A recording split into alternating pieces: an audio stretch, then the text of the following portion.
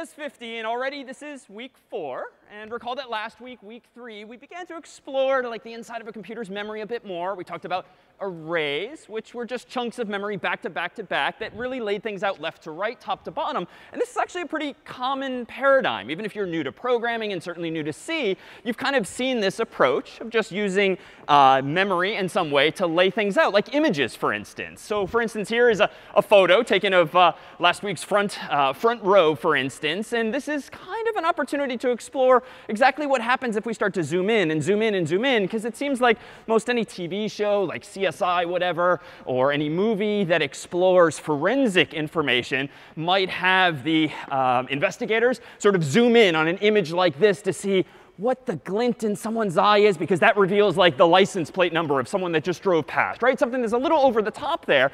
But there's an opportunity here to speak to why that is so unrealistic. For instance, let's zoom on this puppet here's eye, and let's zoom in a little more to see what might be reflected. Let's zoom in a little more. And that's it. There's only finite amount of information if you have an image represented in this way using pixels, these dots on the screen as rows and columns. Because if you're only using a finite amount of memory, then at the end of the day, you can only store a finite amount of information. And at least I don't really see in this grid here any glint of a license plate or something like that that you might otherwise see in, in Hollywood. So today we'll explore sort of these kinds of representations of how you might use memory in new and interesting ways to re represent now very familiar things, but also start to explore what some of the limitations are of this representation. But consider, after all, that this doesn't need to be even as high resolution, as many pixels as something like this other image. You could imagine just doing something silly with post-it notes like this. And if you think of an image as just having rows and columns, these rows otherwise known as scan lines, something we'll explore in the coming week, you could make this sort of fun smiley face by just using two different values, maybe a 0 and a 1, or yellow and purple, or vice versa, just to kind of make something come to life. Now, in practice, recall, we talked about storing not just a 0 or 1, but maybe an R, a G, and a B value, like 24 bits or 3 uh, bytes in total. But we'll come back to that. That would just be a more involved image. But if for fun, if today you sort of want to um, uh, uh, tackle something passively in the background, if you go to uh, this URL here, we've put together an opportunity to do a sort of uh, a bit of pixel art. If you go to this URL here, that'll redirect you to a Google spreadsheet if you have a laptop with you today. That'll look a little something like this, which we've sort of organized in rows and columns. So if you'd like to go ahead and use Google Spreadsheet's colorization uh, feature to color in those individual squares. If you'd like, see if you can't make something a little creative, and then email it to Carter, and we'll exhibit some of the, uh, the best or favorites on the website thereafter. So let's transition then to something a little more familiar, images. And not all of you have used, presumably, Photoshop, but you're probably generally familiar with Photoshop as a program for editing and creating uh, images or photos or the like. And here is a screenshot of Photoshop's color picker, via which you can change like what color you're going to draw with the paintbrush, or what color you're going to fill in with the, the paint bucket. It's representative of any kind of graphical tool. And there's kind of a lot of information in here, but there's perhaps some familiar terms now, R, G, and B. In fact, right now, this is uh, Photoshop's way of saying you're about to fill in your background or foreground with the color black. And that appears to be represented with an R, a G, and a B value of 0, 0, 0. Or alternatively, using a hash symbol and then 0, 0, 0, 0, 0, 0, 0, 0. And if some of you have already made web pages before and you know a little bit of HTML and CSS, you probably are familiar with this kind of syntax, like a hash symbol and then six or sometimes three digits thereafter. And if we look at a few different colors here, for instance, here might be the representation of white. Now the R, the G, and the B values went way up from 0 to 255, 255, 255. Or alternatively, it looks like Photoshop and in turn uh, web browsers could represent that same color white with FFFFFF. And let's just do a few others. Here is red. And it turns out that red is a whole lot of red, 255, but no green, no blue. Or AKA FF0000. So there's perhaps a pattern here emerging. Here is green, 02550, aka 00FF00. Or lastly here, blue, which is no red, no green, but apparently a lot of blue, 255 again, aka 0000, FF. Now, some of you, again, might have seen these, this notation before, these zeros and these Fs and all of the numbers and letters in between. But this is another form of notation. And in fact, we'll explore this today. Really is just a precondition for talking about some other concepts. But the ideas ultimately are really no different. What we're about to see is a different base system, uh, not just binary, not just decimal, but something we we are about to call hexadecimal. But first, recall that with RGB, we previously did the, did the following. Any RGB value, red, green, blue, just combine some amount of red or green or blue. So here we have 72, 73, 33, which in the context of an email or a text, of course, said what a couple weeks back? Just hi with an exclamation point. But in the context of a Photoshop-like program, this might instead be representing collectively this shade of yellow, for instance, when you combine that much red, that much green, that much blue.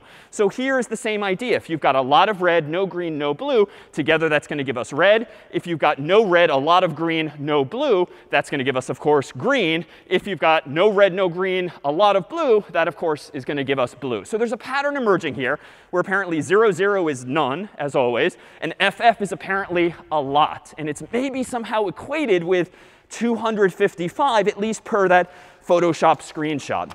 Meanwhile, if we combine one last one, a lot of red, a lot of green, a lot of blue, that's actually going to give us a single white pixel like this. All right, so think back. Here was binary. In the world of binary, you had just two digits, 0 and 1. Could have been anything else, A or B, X or Y, but the world standardized on these uh, uh, uh numerals, 0 and 1. In our world's decimal system, of course, you have 0 through 9. As of today, though, we're going to start using hexadecimal sometimes in the context of images and also files, just because it's a convention. There's some conveniences to it, where now you're going to be able to count up to f in a notation called hexadecimal, from 0 through 9. Then you keep going to A to B to C to D to E to F. The idea being each of these, even though it's weirdly a letter of the English alphabet, it's still just a single symbol.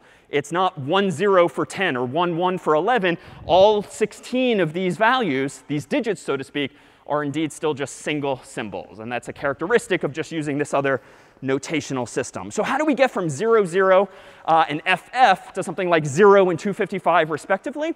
Well, this hexadecimal system, aka base 16, just does the math from week 0 and really grade school a little bit differently. For instance, if you have a number that's got two digits, or hexadecimal digits as of today, the columns are just a little different. Instead of powers of 2 or powers of 10, which we saw for binary and decimal respectively, it's powers of 16. So if we just kind of do the math out, that's the ones column, this is the 16s column, and so forth. Things get actually pretty big pretty quickly in this system. But now let's just consider how we would represent familiar numbers. If you've got two hexadecimal digits, for which these hashes are just placeholders, 0, 0 is going to mathematically equal the decimal number you and I know, of course, as 0. Why? Same thing as week 0. 16 times 0 plus 1 times 0 is the number you and I know as 0. And we can count up from here. This in hexadecimal would be how a computer represents the number we know as 1. It would be 0, 1 in this case. This would be 2, 3, 4, 5, 6, 7, 8, 9. In decimal, we're about to go to 10. But in hexadecimal, to be clear, what comes next? So apparently A, so 0A, 0B, which is now 10 or 11 or 12, 13, 14, 15. So using hexadecimal is just kind of an interesting way of using single symbols now, 0 through F, to count from 0 through 15. And we'll see why it's 15 in a moment. But as soon as we get to F, anyone want to conjecture how in hexadecimal, aka hex, do we now count up one position higher? What comes after 0f in hexadecimal? So 1, 0. It's the same kind of thing. Like once you're at the highest digit possible, f, or in our decimal world, it would have been 9. You sort of add one more, and 9 wraps around to 0. Or in this case, f wraps around to 0. You carry the 1, and voila, now we're representing the number you and I know as 16. And we could keep going forever, literally. This could be 17, 18, 19, 20 in decimal. But let's just wave our hands at it and count as high as we can, dot, dot, dot. The highest we could count in hexadecimal with two digits just logically would be what? In hexadecimal, something, something. FF, I heard. So yes, that's the biggest digit possible. So FF is what we have. So how high can you count in hexadecimal if you've got just two of these digits? Well, it's the same math as always. 16 times F, aka 15. So that's 16 times 15 plus 1 times F, or 1 times 15. That gives us 240 plus 15 in decimal, the result of which, of course, now is 255. So this hexadecimal system you may have seen in the world of web pages, and if you haven't, we'll get to that in this class in a few weeks, or we just saw in the context of Photoshop, just has this sort of shorthand notation of counting as high as 255, but just calling it FF. Now, it's marginal, but that's like 50% savings of how many digits you need in order to count as high as 255, because in decimal, of course, 255 is three digits. In hexadecimal, you can count as high using just two. And that difference is going to get magnified the bigger our numbers get. Let me stipulate for now, you're going to get more and more savings in terms of just how many symbols you need on the screen to represent bigger and bigger numbers than that. All right, let me pause here just to see if there's any questions thus far on what we've called hexadecimal, which again just gives us 0 through 9 as well as A through F. Any questions or confusion? And if it feels like we're lingering a bit much on arithmetic, we're not really going to see other notations besides this moving forward. These are sort of the go-to three in a, a programmer's world, typically. But there are some others. Yeah?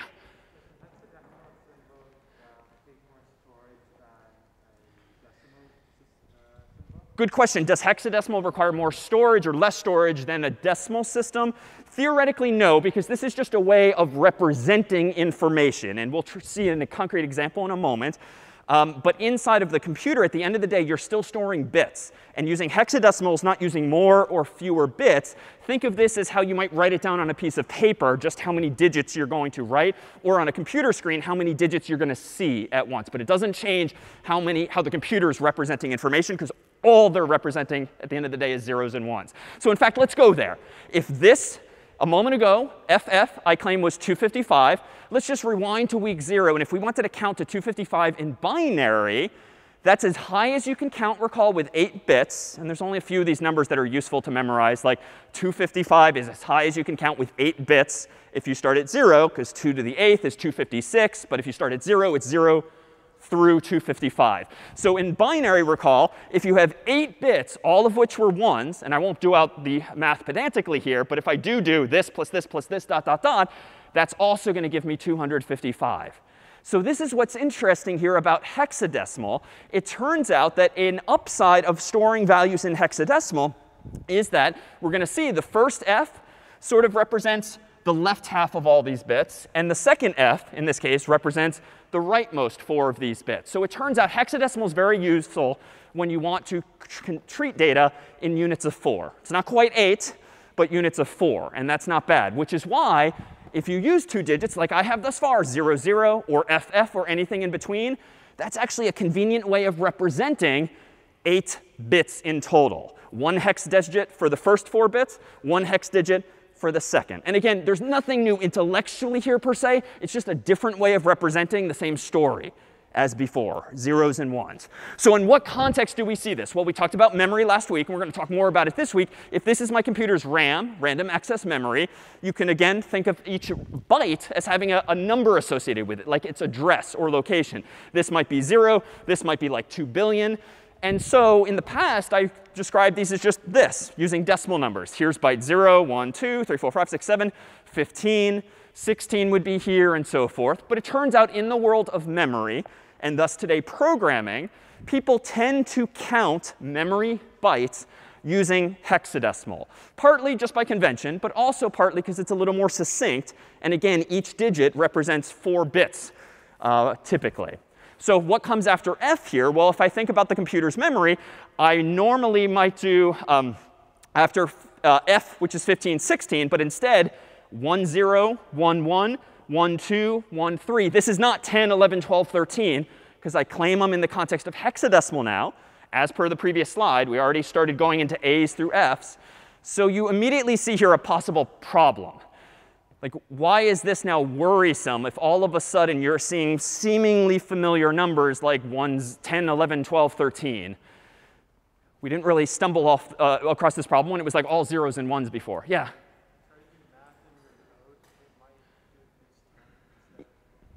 Yeah, so if you're writing some code in C that's doing some math, you might accidentally, or the computer might accidentally confuse hexadecimal with decimal if they look in some context the same. I mean, any number on the board that doesn't have a letter is ambiguously hexadecimal or decimal at this point. And so how might we resolve this? Well, it turns out that what computers typically do is this. By convention, anytime you see visually 0x and then a number, that's a human convention uh, of saying, signaling to the reader that this is in fact a hexadecimal number. So if it's 0x10, that is not the number 10. That is the hexadecimal number 10, which recall we said earlier is how you count up to 16.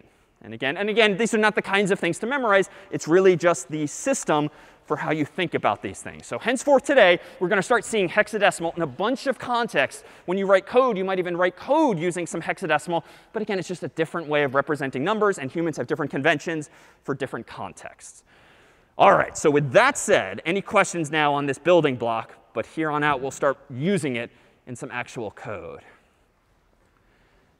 Any questions?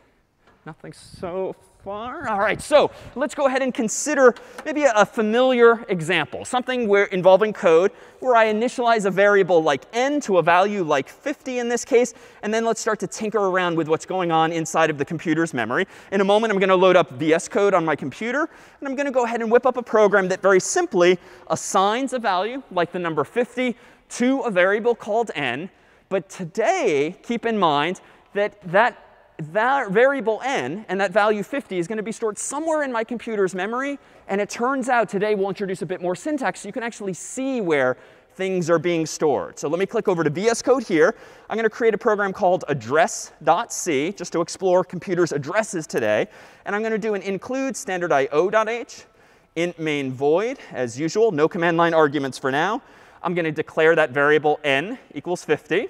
And then I'm just going to go ahead and print it out. So nothing very interesting, but I'll use percent %i, backslash n, and then comma n to print out that value. Nothing here should be very interesting to compile or run, but I'll do it just to make sure I didn't make any mistakes. Looks like, as expected, it simply prints out the number zero, uh, 50 like this. But let's consider then what this code is doing underneath the hood when it's actually run on your machine. So here we have that grid of memory. That variable n is an int. And if you think back, how many bytes typically do we use for an int? Yeah. 4, so 4 bytes or 32 bits. So if each of these squares represents one byte, then my computer somewhere in my memory or RAM is using 4 of these squares. Maybe it ends up over here just because there's other stuff being used elsewhere, for instance. Though I don't really know, and frankly, I don't really care where it ends up, just that it ends up somewhere. So the variable, the value 50 is stored here in a variable called n even though I've written it as decimal, just like in my code, let me again remind that this is 32 zeros and ones representing that 50. It's just going to be very tedious if we start writing everything in binary. So I'll use the more comfortable human decimal system. So that's what's going on inside of the computer's memory. So what if I actually wanted to start tinkering with its location, or maybe just knowing its location? Well, this variable n indeed has a name, n. That's a, a, label of sorts for it. But at the end of the day, that 50 is technically at a specific address. And I'm going to make one up, 0x123. And it's 123 because I really don't care what it is. I just want an address for the sake of discussion. So way over here off screen might be byte 0. Way down here is byte 0x123. It's in hexadecimal notation just by convention. So how can I actually see where my variables are ending up in memory if I'm curious to do so? Well, let me go back to my code here. And let me actually change this just a little bit. Let me go ahead and introduce, for instance, another symbol here and another topic altogether, namely pointers. So a pointer is a variable that stores the address of some value, the location of some value, or more specifically, the specific byte in which that value is stored. So again, if you think of your memory as being a whole bunch of bytes, 0 at top left, 2 billion or whatever at bottom right, depending on how much RAM you have, each of those things has a location and an address. A pointer is just a variable storing one such address. So it turns out that in the world of C, there's a couple of new symbols we can use if we want to see what it is we're talking about here. And those two operators, as of today, are these. You can use the ampersand operator in C in a couple of ways. We already saw it very briefly to do ampersand ampersand to kind of and two, two Boolean expressions together in the context of a conditional. This is different. A single ampersand is the address of operator. So literally in your code, if you've got a variable like n or anything else, and you write ampersand n, C is going to figure out for you what is the address of that variable n in the computer's memory. And it's going to give you a number, uh, a, a, a, number, the, otherwise known as the address of that. If you want to store that address in a variable, even though, yes, it's a number, like 0x123, you have to tell C in advance that you want to store not an int per se, but the address of an int. And the syntax for doing that, somewhat non-obviously, is to use an asterisk here, a star operator. And you say this when creating the variable. If you want p to be a pointer, that is the address of some other variable, you do int star p. And the star just tells the computer this is not an integer per se. This is the address of something. That yes is an int, but we're just being more precise. So on the right-hand side, you have the address of operator.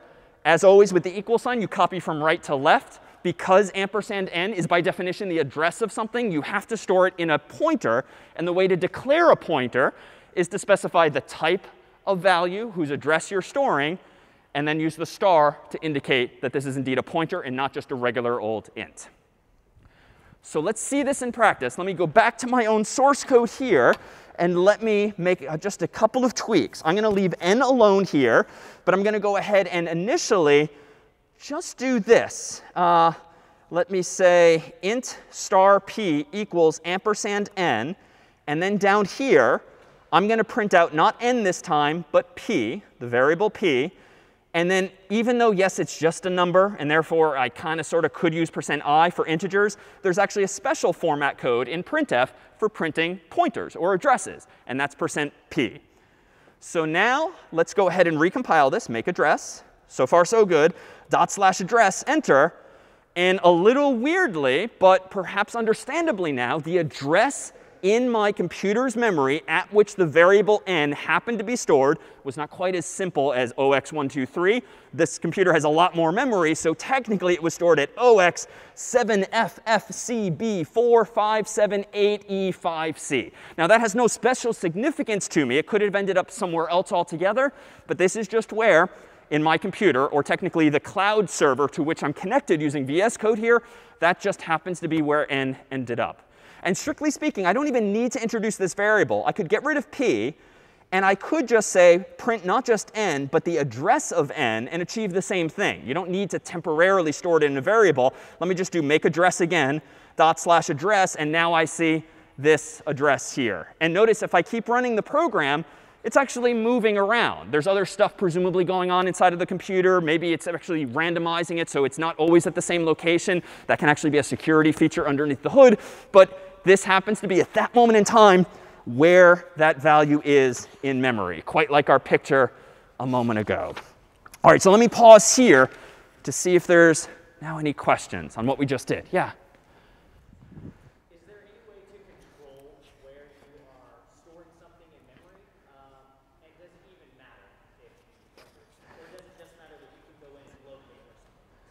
Really good question. Is there any way to control where something is in memory? Short answer is yes. And this is both the power and the danger of C. And we're going to do this today and make a few deliberate mistakes because with this power of going to or getting the address of any variable, I could just arbitrarily right now write code that stores a value at like byte 2 billion or 0 or anything in between.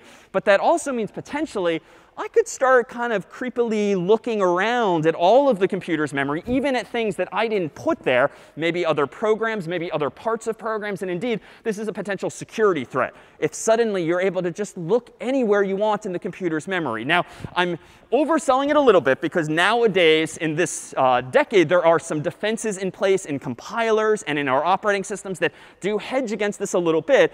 But this is still a very frequent source of problems. And later today, we'll talk briefly about things called Stack Overflow, which is not just a website. It is a problem that you can encounter. Heap overflow and more generally buffer overflows. There's just so many things that can go wrong using this language called C. And if any of you have encountered a segmentation fault yet, I think we saw a few hands for that already, you touched memory that you shouldn't have. And odds are you did it most recently by going too far in an array, going to the left or negative in an array, or somehow looking at memory you shouldn't have. And we'll explain today why it is you were able to do that. Other questions on these primitives so far? Yeah, from Carter?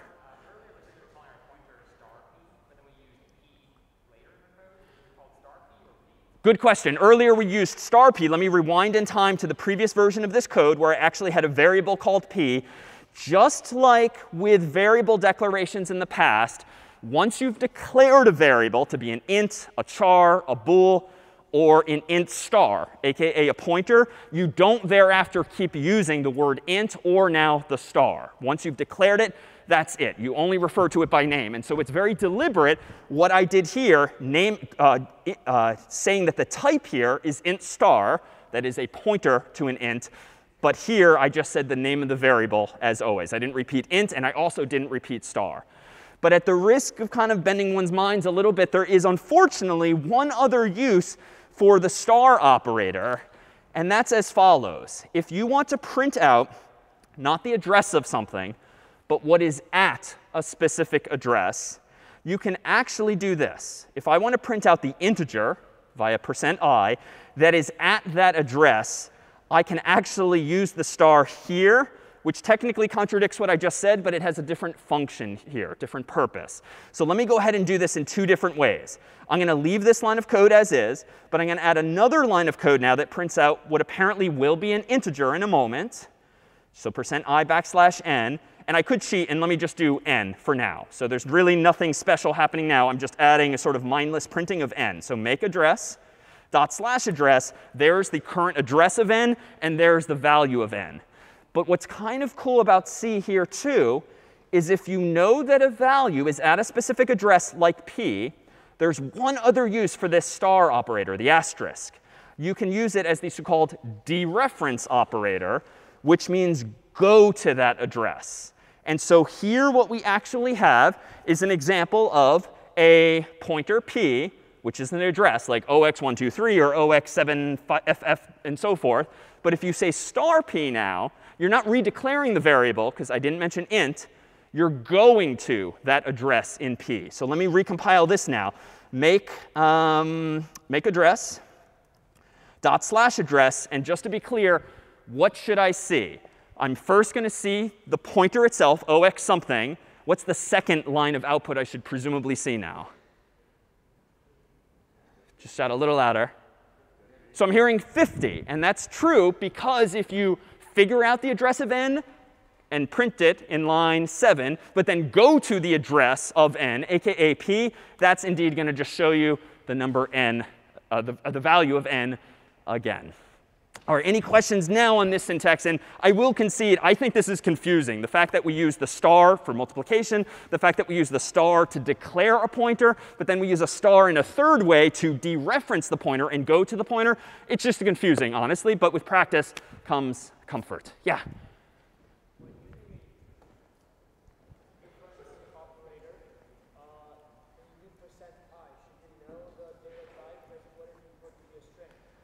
Good question. Do you, when you are using the, uh, the ampersand operator to get the address of something, the onus is on you at the moment to know what you are getting the address of. Is it a string? Is it a char? Is it a bool? Is it an int? I wrote this code, so I know in line 6 that I'm trying to get the address of what is an integer. In line 8, you don't have to worry about that. Good question. Notice in line 8, I didn't tell the computer, other than the percent %i, what kind of address I'm going to. But I did already. In line 6, I told the compiler that p, now and forever, is going to be the address of an int. That's enough information in advance so that printf, or really the language C, still knows on line 8 that p is a pointer to an int. And that way, it will print out all four bytes at that address, not just part of it, and not more than those four bytes. Good question. Yeah, next to you.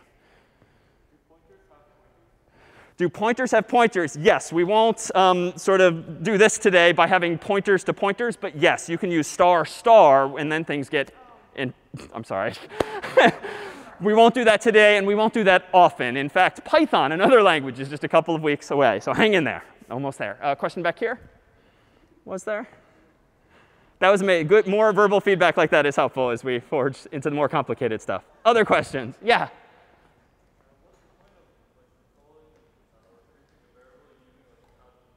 What's the point of printing the address? Like? Sure. What's the point of doing this? If you don't mind, let me, let's get there in a moment. This is not the common use case, just printing out the address. Like, who really cares? Um, at the moment, we care only for the sake of discussion. We're soon going to start using these addresses. So hang in there just a little bit for that one, too. But it will uh, solve some problems for us before long. So let's actually just now depict what was going on inside of the computer's memory just a moment ago. So if I toggle back here, let me redraw my computer's memory, and let me plop into the memory n, which is storing in this program the number 50. Where is p in my computer's memory? Specifically, I don't know, and apparently it moves around each time I run the program. So for the sake of discussion, let's just propose that if 50 ended up at address 0x123, I don't know, p ends up over here at address, whoops, uh, at whatever address this is here. But notice a couple of curiosities now.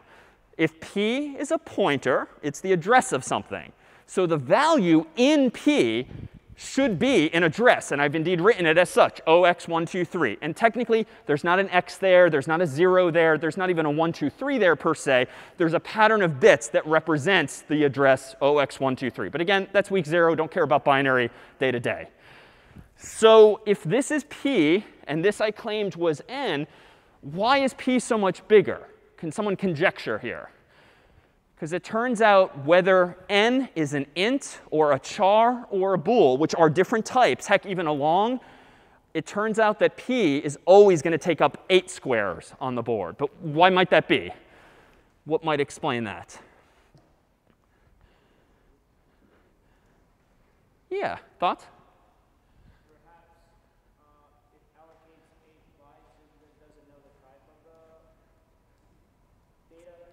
OK, fair. Maybe it's allocating 8 bytes because it doesn't know the type. Turns out that's OK, because an address is an address. It's really up to the programmer to use it as a string or a char or a bool. Other thoughts?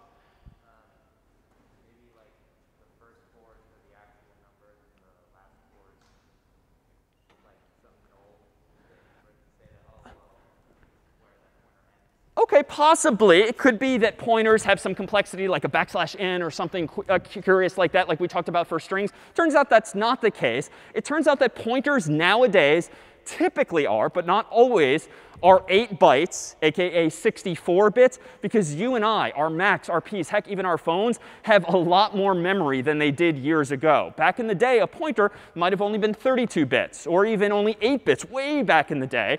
But consider 32 bits, because that was the norm for some time. How high can you count roughly if you've got 32 bits? What's the number we keep rattling off? 32 bits is roughly 2 to the 32. So it's 4 billion. And I keep saying it's 2 billion if you do negative. But in the world of memory, I, there's a reason I keep saying 2 billion bytes, 2 gigabytes, because for a very long time, that was the maximum amount of memory a computer could have. Why? Because the pointers that the computers were using were only, for instance, 32 bits. And with 32 bits, depending on whether you allow for negatives or not, you can count as high as 2 billion roughly, or maybe 4 billion. But you know what? Your Mac, your PC, your phone could not have had 5 gigabytes of memory or 5 billion bytes of memory. You certainly couldn't have had what computers nowadays come with, which might be 8 gigabytes of memory, 16 gigabytes of memory. Why?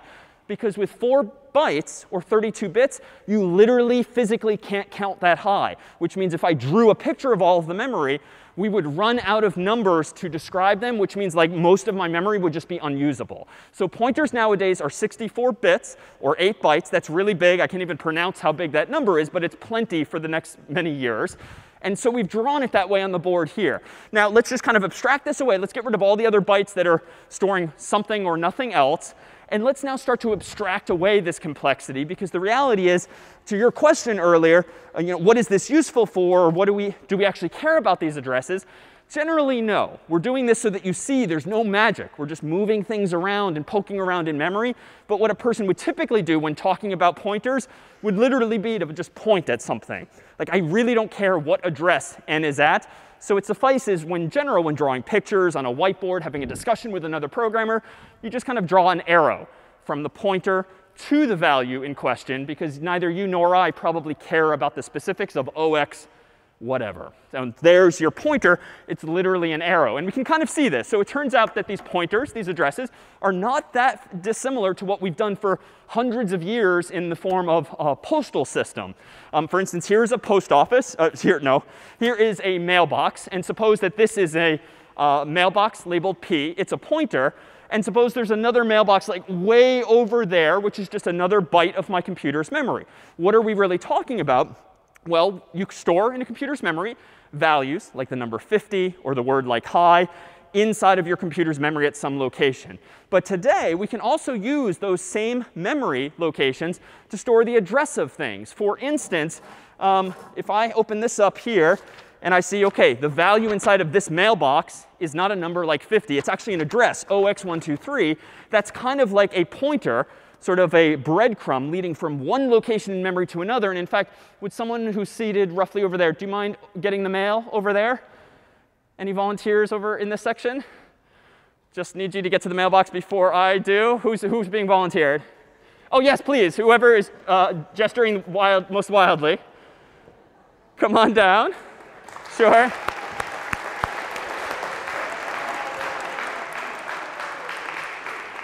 What's your name? Ant, uh, say again? Anfu?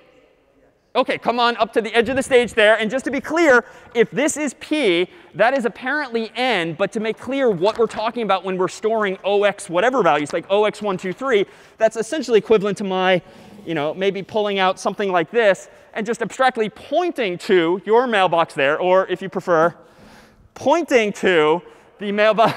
OK, all right. oh, thank you. All right.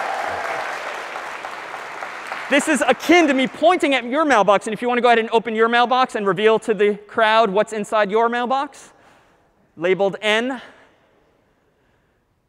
All right. Thank you.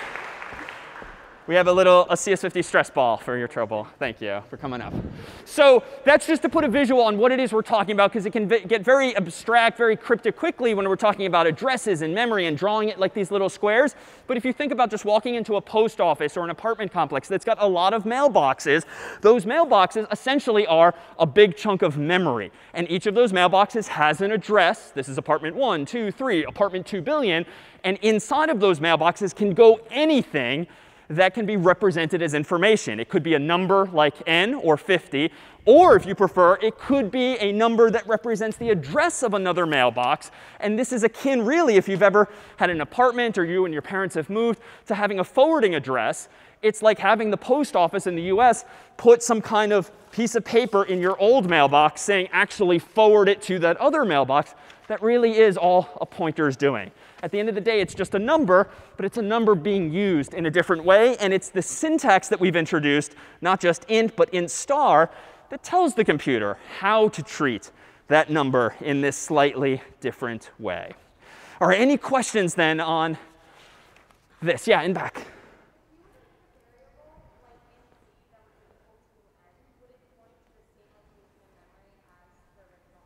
If I did int c and said it, can you say the code again? Once more? Equal to n. So let me actually type it out. If I give myself another line of code, tell me one last time what to type. int is equal to n like this. So this is OK. And I can't draw it quite quickly enough on the board here. But this would be like creating another 4 bytes somewhere in memory, maybe down here, that stores an identical copy of 50 because the assignment operator from right to left copies one value to another. So that would just add one more rectangle of size 4 to this particular picture if I'm answering your question as intended. OK, so that is sort of, sort of week one style use of assignment operators before pointers. I could, though, start copying pointers. But again, we'll come back to some of that complexity. Any other questions here?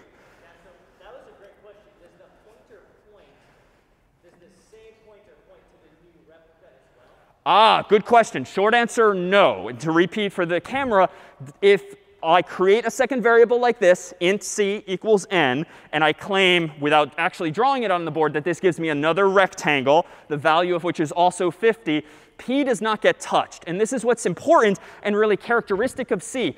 Nothing happens automatically for you. Like P is not going to be updated unless you update P in some way. So creating a third variable called C, even if you're copying its value from right to left, that has no effect on anything else in the program. A good question. So what have we seen that's perhaps now a little more explainable, well, recall that we talked quite a bit last week about strings. And just to recap in layperson's terms, like what is a string as you now understand it? So, say, uh, let me take a specific hand here. What's a string? How about uh, over here? OK, sure. Both of you are right. An array of characters. An array of characters. And we I claimed or revealed last week that string is not technically a feature built into C. Like it's not an official data type, but every programmer in most any language refers to sequences of characters, words, letters, paragraphs, as strings. So the vernacular exists, but the data type doesn't typically exist per se in C. So what we're about to do, if you will, for dramatic effect, is take off some training wheels today. The CS50 library, uh, implemented in the form of the header file, cs50.h, we claim has had a bunch of things in it prototypes for getString, prototypes for getInt, and all of those other functions. But it turns out it also is what defines the word string in such a way that you all can use it these past several weeks. So let's take a look at an example of a string in use. Here, for instance, is a tiny bit of code that uses uh, the word string uh, creating a variable called s, and then storing quote unquote hi exclamation point. Let's consider what this looks like now in the computer's memory. I don't care about all the other bytes. Let's just focus on these. And this, per last week, is how hi might be stored. hi exclamation point, and then one more, as someone already observed, that sentinel value, that null character, which just means eight zero bits to demarcate the end of that string, just in case there's something to the right of it, the computer can now distinguish one string from another. So last week, we introduced this new syntax. Well, if strings are just arrays of characters, you can then very cleverly use that square bracket notation and go to location 0 or 1 or 2, which are kind of sort of like addresses, but they're relative to the string. right? This could be at OX123 or OX456. But with this bracket notation, 0 is always the beginning of the string, 1 is the next, 2 is the next, and so forth. So that was our array syntax for indexing into an array. But technically speaking, we can go a little deeper today. Technically speaking, if hi is uh, starting at the address 0x123, then it stands to reason that i is at 0x124, uh, exclamation points at OX125, and the, the null is at 0x126. Now, I don't care about 123 per se, but even though this is hexadecimal, this is correct math. Even in hex, if you just add 1 when you start at OX123, the next number is 4, 5, 6 at the end. I don't have to worry about A's, B's, and C's because I'm not counting that high in this example.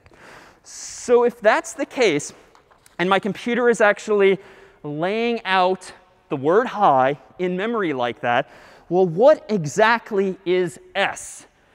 Right? What exactly is s if at the end of the day, h, i, exclamation point, null is storing, is, are stored at these addresses. Like, where is s? Like, now that I've kind of taken off those training wheels and showed you where hi exclamation point null actually are, what happened to s? Well, s, as always, is actually a variable, right? Even in the code I proposed a moment ago, s is apparently a data type that, yes, doesn't come with C, but CS50's library makes it exist. s is a variable of type string. So where is s in this picture? Well, it turns out that s might be up here. Again, I'm just drawing it anywhere for the sake of dis uh, discussion. But s is a variable per that line of code. What s is storing, apparently, I claim, is 0x123. I, I actually don't really care about these addresses, so let's abstract that away. s is apparently, as of now, today, one week later, just a pointer to a character, specifically the first character in S. And this is kind of the last piece of the puzzle. Last week we had this clever way of demarcating the end of a string.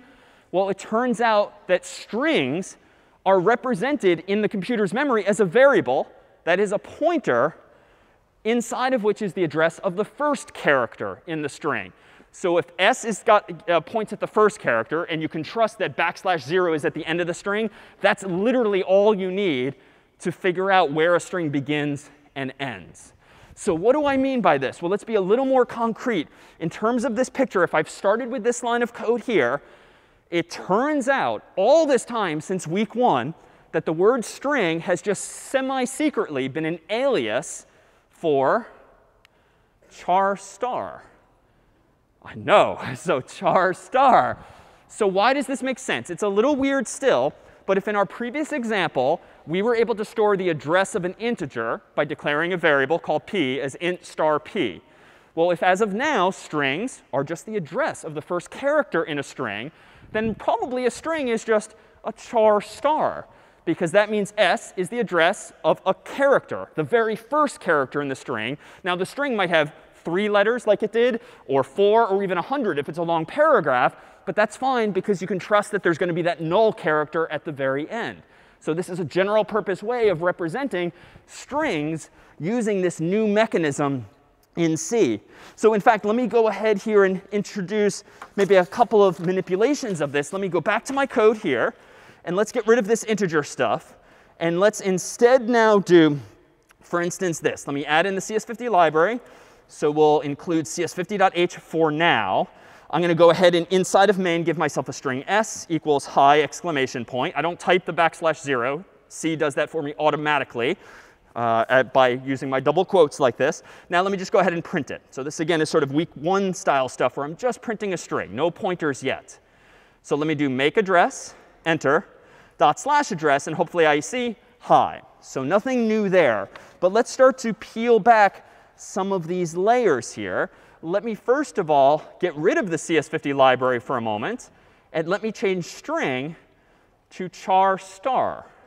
And it's a little bit weird, but yes, the convention is to say char, a space, then the star, and then immediately thereafter the name of the variable. Strictly speaking, though, you might see textbooks or websites that do it like this or like this. But the canonical way is typically to do it like that. So now no more CS50 library, no more training wheels, if you will. I'm just treating strings for what they really are. Let me go ahead and do make address, enter. So far, so good, dot slash address. And that too still works. So percent %s is a thing. That comes with printf because the word string is programmer terminology. But strictly speaking, C doesn't have a string data type. It's always been char star. So what this means now is I can start to kind of have some fun with these, these basic ideas, even though this is not purposeful other than for the sake of discussion. But if S is this, let me go back and give myself the CS50 library. Let's put those training wheels back on for just a moment so that I can do one manipulation at a time. Here's my string S as before. Well, let me go ahead and declare a, a char called C. And let me store the first character in the string there, which is s bracket 0. And that should give me h. And then just for kicks, let me go ahead and do char star, whoops. Let me go ahead and do char star p equals ampersand c and see what this actually prints for me. Let me go ahead and print out what p is here. So we're just playing around. So make address. So far, so good. Dot slash address. All right. So what have I just done? I've just created a char c and stored in it the letter h, which is the same thing as s bracket i. Then I'm saying, what's the address of c? And that's apparently 0x7ff whatever. So that's the address. But I technically didn't have to do that. Let me go ahead and do two things now. Instead of just printing p, let me go ahead and print out maybe s itself. Let me go ahead and do make address, enter. So far, so good. Dot slash address and damn it, what did I do? Oh, shoot. I didn't want to do that. Oh, I really made a mess of this. Um, what did I want to do here? That was supposed to be impressive, but it was the opposite. So let me turn it around. So if I intended to do this, why are nine, lines 9 and 10 printing different values? Didn't really intend to go here, but let me try to save this why are we seeing different addresses? Namely, this address, 402004 for S, and then OX7FF for P. Any thoughts? Yeah, over here.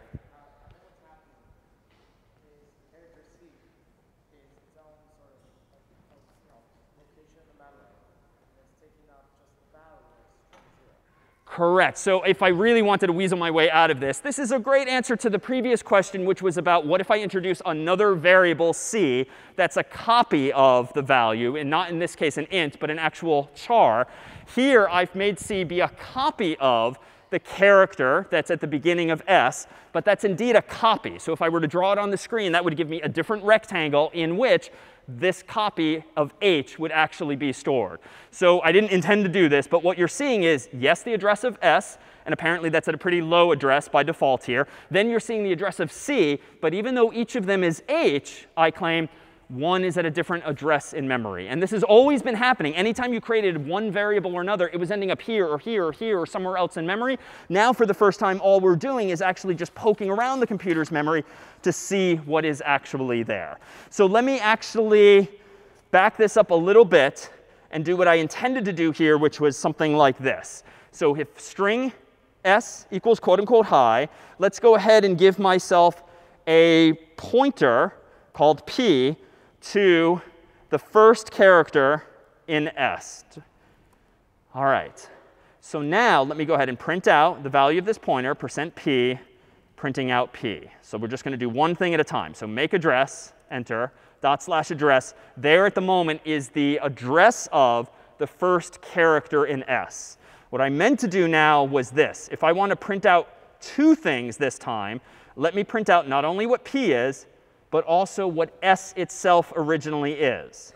Because if I claim that everyone from last week should be comfortable with s bracket 0 just representing the first character in s by definition of strings being arrays of characters, then s, as of today, is itself the address of a character, the first one in s. So if I now do make address and do dot slash address, this time I see the same exact things. Thank you.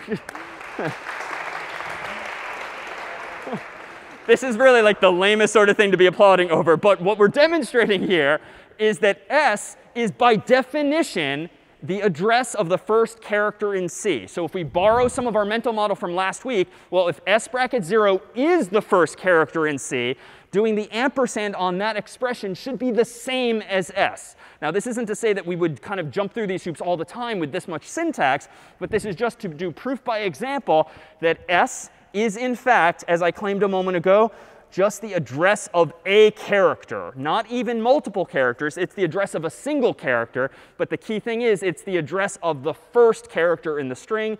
And per last week, we trust that C is going to look for that null character at the very end just to make sure it knows where the string actually ends. All right, a question came up over here.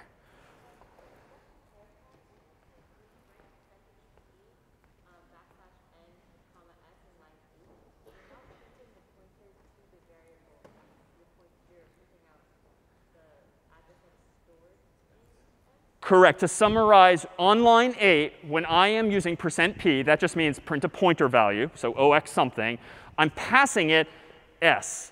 Previously, when we used percent %s, printf knew to print not just the first character of s, but h, i, exclamation point, and then stop when it hits the backslash 0. Percent %p is different.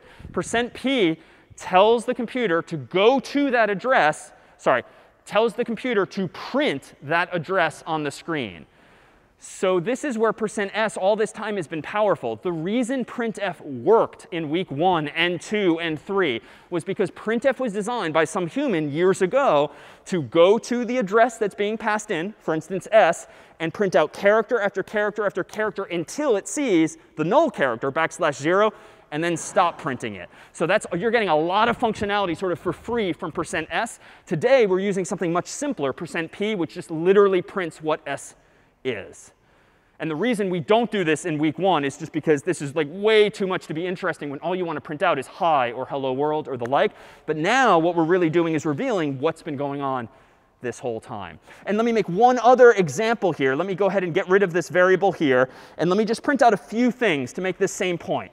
I'm going to print out not just s, like I did here, but let's go ahead and print out every, the address of every character in s. So let's get the first letter in S and get its address. And I'm going to do copy paste for time's sake, but not something I would do frequently. So let me print out the address of the first character, the second character, the third, and actually even the fourth, which is the backslash 0, by doing this.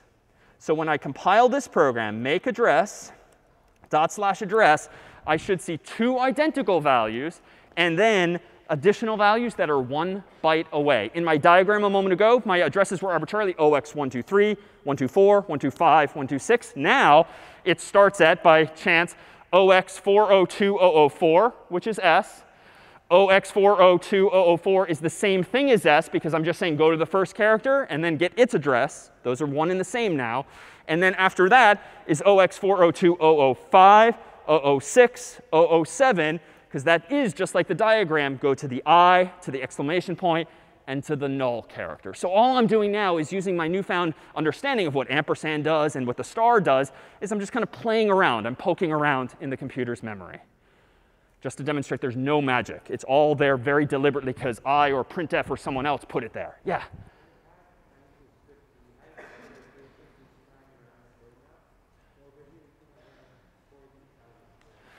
Really good observation. So it's indeed the case that hi, unlike 50, is kind of ending up at a very low address, not the OX7FF wherever it was.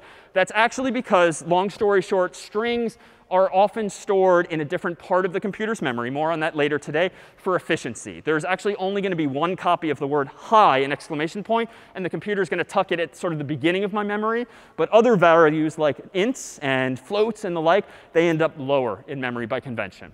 But a good observation, because that is consistent here. All right, so a couple final details then on what's been going on here. Let me go ahead and claim that we implemented char star, or rather string, as a char star as follows. As of last week, we were writing this code. As of this week, we can now start writing this code because char star specifically, we invented in the CS50 library. But it turns out you've seen a way of inventing your own data types. Recall this thing here. We played around last time with data structures, or the struct keyword in C, and briefly the typedef keyword, which defines a type for you. And if I highlight what's interesting here, the way we invented a person data type last time was to define a person as having two variables inside of it, a structure that encapsulates a name and encapsulates a number. Now, even though the syntax is a little different today because of the star thing, notice that this could be a similar application of that idea. If I want to create a type called string, highlighted in yellow here, then I use typedef to make it defined to be char star. So this is literally all that has ever been in cs50.h, in addition to those prototypes of functions we've talked about. Typedef char star string is a one-line code that brings the word string as a data type into existence. And that's all that's ever been there. But the star, the char star, is just too much in week one we wait until this point to sort of peel back that layer. Are any questions then on what a string is, what star or the ampersand are doing? Yeah.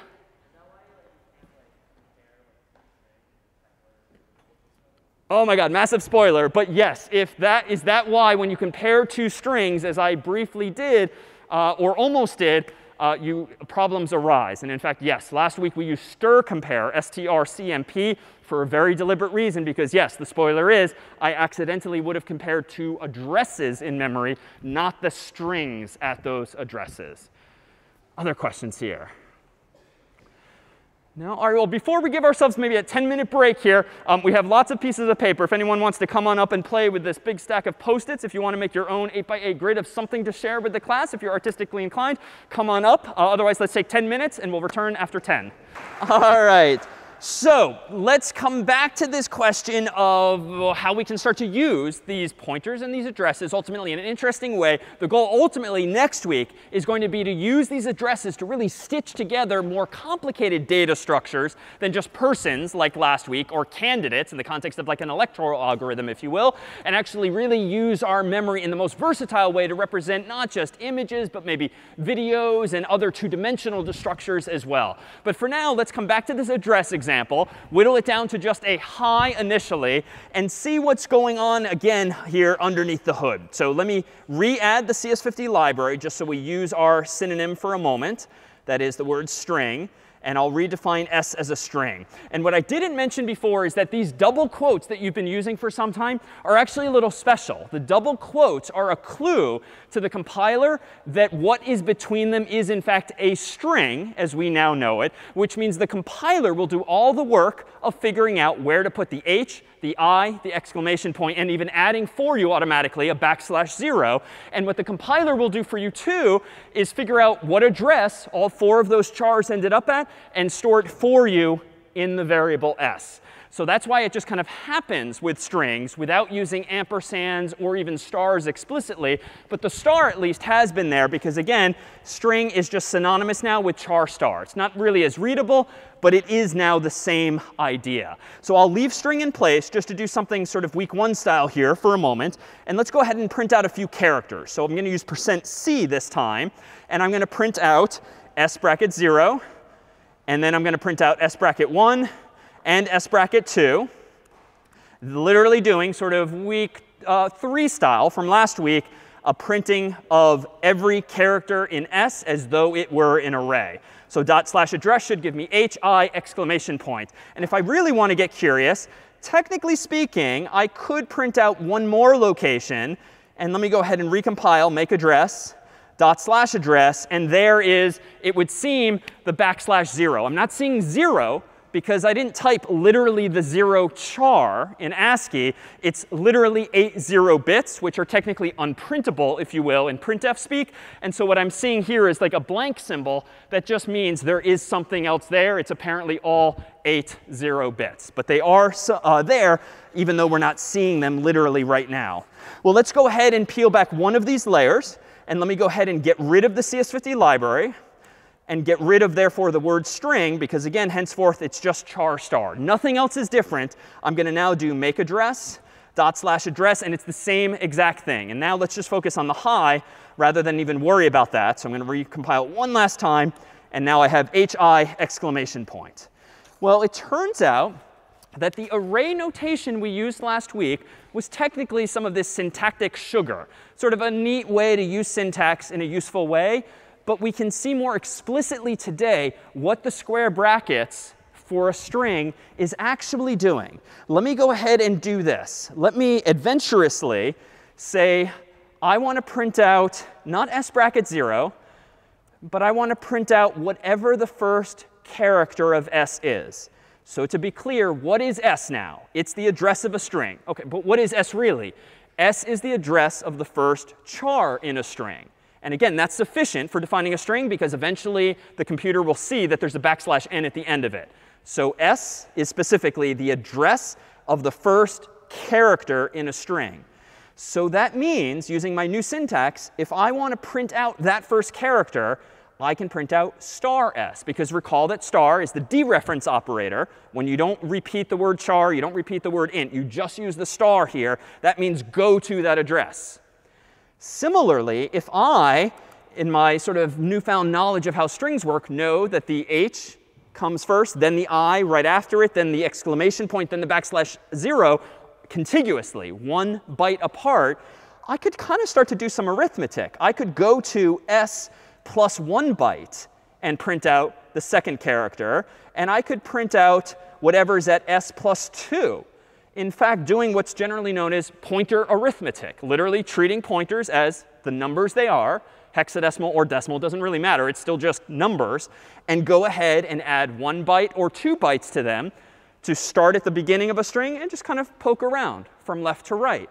So this now is equivalent to what we did last week using square bracket notation. But now I'm re-implementing that same idea with this sort of lower level plumbing, understanding ampersands and stars now a little bit more. So if I remake this program and do dot slash address, I should still see hi exclamation point. But what I'm really doing is just kind of demonstrating, hopefully, my, my sort of understanding of what really is going on in the computer's memory. Now, programmers who are maybe trying to show off might actually write this syntax. I think the more common syntax would be what we did last week, s bracket 0, s bracket 1, why? It's just a little more readable. And like we don't need to sort of uh, brag about or care about this underlying representation. The square brackets last week were an abstraction, if you will, on top of what is lower level math. But that's all that's going on underneath the hood. We're poking around from byte to byte to byte. All right, let me pause here, see if there's any questions on that one. Any questions on this? Let's do one more then, just to demonstrate that this is not even specific to strings. Let me go ahead and get rid of all of this, and let me give myself an array of numbers like I did last week. So if, if I don't, uh, if I'm going to declare all the numbers at once using this funky uh, curly brace notation, I can do like 4, 6, 8, 2, 7, 5, 0. So seven different numbers inside of an array. that's automatically initialized like this. I don't, strictly speaking, need to say 7. The compiler's smart enough to figure out how many numbers I put with commas between them. And that just gives me an array containing 4, 6, 8, 2, 7, 5, 0. So it turns out I can print each of these numbers in the familiar way. I can do a printf of percent %i backslash n. And I can print numbers bracket 0. And let me just do some quick copy paste just to print the first three of these. Theoretically, that should print out 4, 6, 8, and so forth. But I can do the same sort of manipulation understanding what pointers now are using pointer arithmetic. So let me actually unwind this and just go back to one printf. And instead of printing numbers bracket 0 like I might have last week, let me just go and print out whatever is at that address. So asterisk numbers. Let me then print out the second digit, which is going to be whatever is at numbers plus 1. And then let me do this further and do whatever's at numbers plus 2. And if I really want to repeat this, let me do it four more times and do what's at uh, location 3, 4, 5, and 6. And that's seven total numbers because I started counting at 0. So let me just quickly run this. Make address, dot slash address. There are those seven digits being printed. But there's something subtle but also kind of useful here.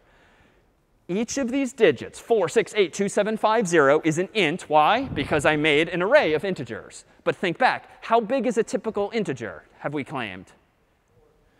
4 bytes, or 32 bits. So it's worth noting that I don't really need to worry about that detail. Notice that I did not do plus 4, plus 8, plus 12, plus 16, plus 20. Right? I, the programmer, strictly speaking, don't need to worry about how big the data type is. This is the power of pointer arithmetic. The compiler is smart enough to know that if you add 1 to this pointer, that is the same as saying go one more uh, piece of data, not just one byte. So if it's an int, move 4. If it's a second int, move 8. If it's a third int, move 12. Pointer arithmetic sort of handles that annoying arithmetic for you. So you can just think of this as a number after a number after a number that are back to back to back, but not one byte apart, but four bytes apart. Which is only to say plus 1 plus 2 plus 3 works no matter the data type. Why? Because the compiler knows what type of data you're talking about. Now there's one other detail I should reveal here that I've kind of taken for granted. In the past, I was using double quotes to represent strings. And I claim that the compiler's smart enough to realize that, oh, if I have double quote hi, that means it's an array of hi exclamation point and then the backslash 0. Notice this usefulness. It turns out that you can actually treat arrays as though the name of the array is itself a pointer. And this is actually going to be something useful in upcoming problems when we want to pass arrays around in the computer's memory notice that strictly speaking on line 5, there's no pointers going on. There's no star, there's no ampersand, there's nothing new there. And yet instantly on line 7, I'm sort of pretending that it is the address. And this is actually OK. It turns out that an array really can be treated as the address of the first element in that array. The difference is that there's no secret backslash 0 anywhere. Like this is just part of the phone number here, the ending in 0. That's not like a special backslash 0. So this is something we're going to take advantage of too before long. There's this sort of interrelationship between addresses and uh, arrays that just generally allows you to treat one as though it is the other. But the math is taken care of for you. Or any questions then on, on this before we start to solve some, uh, some bigger problems? Yeah.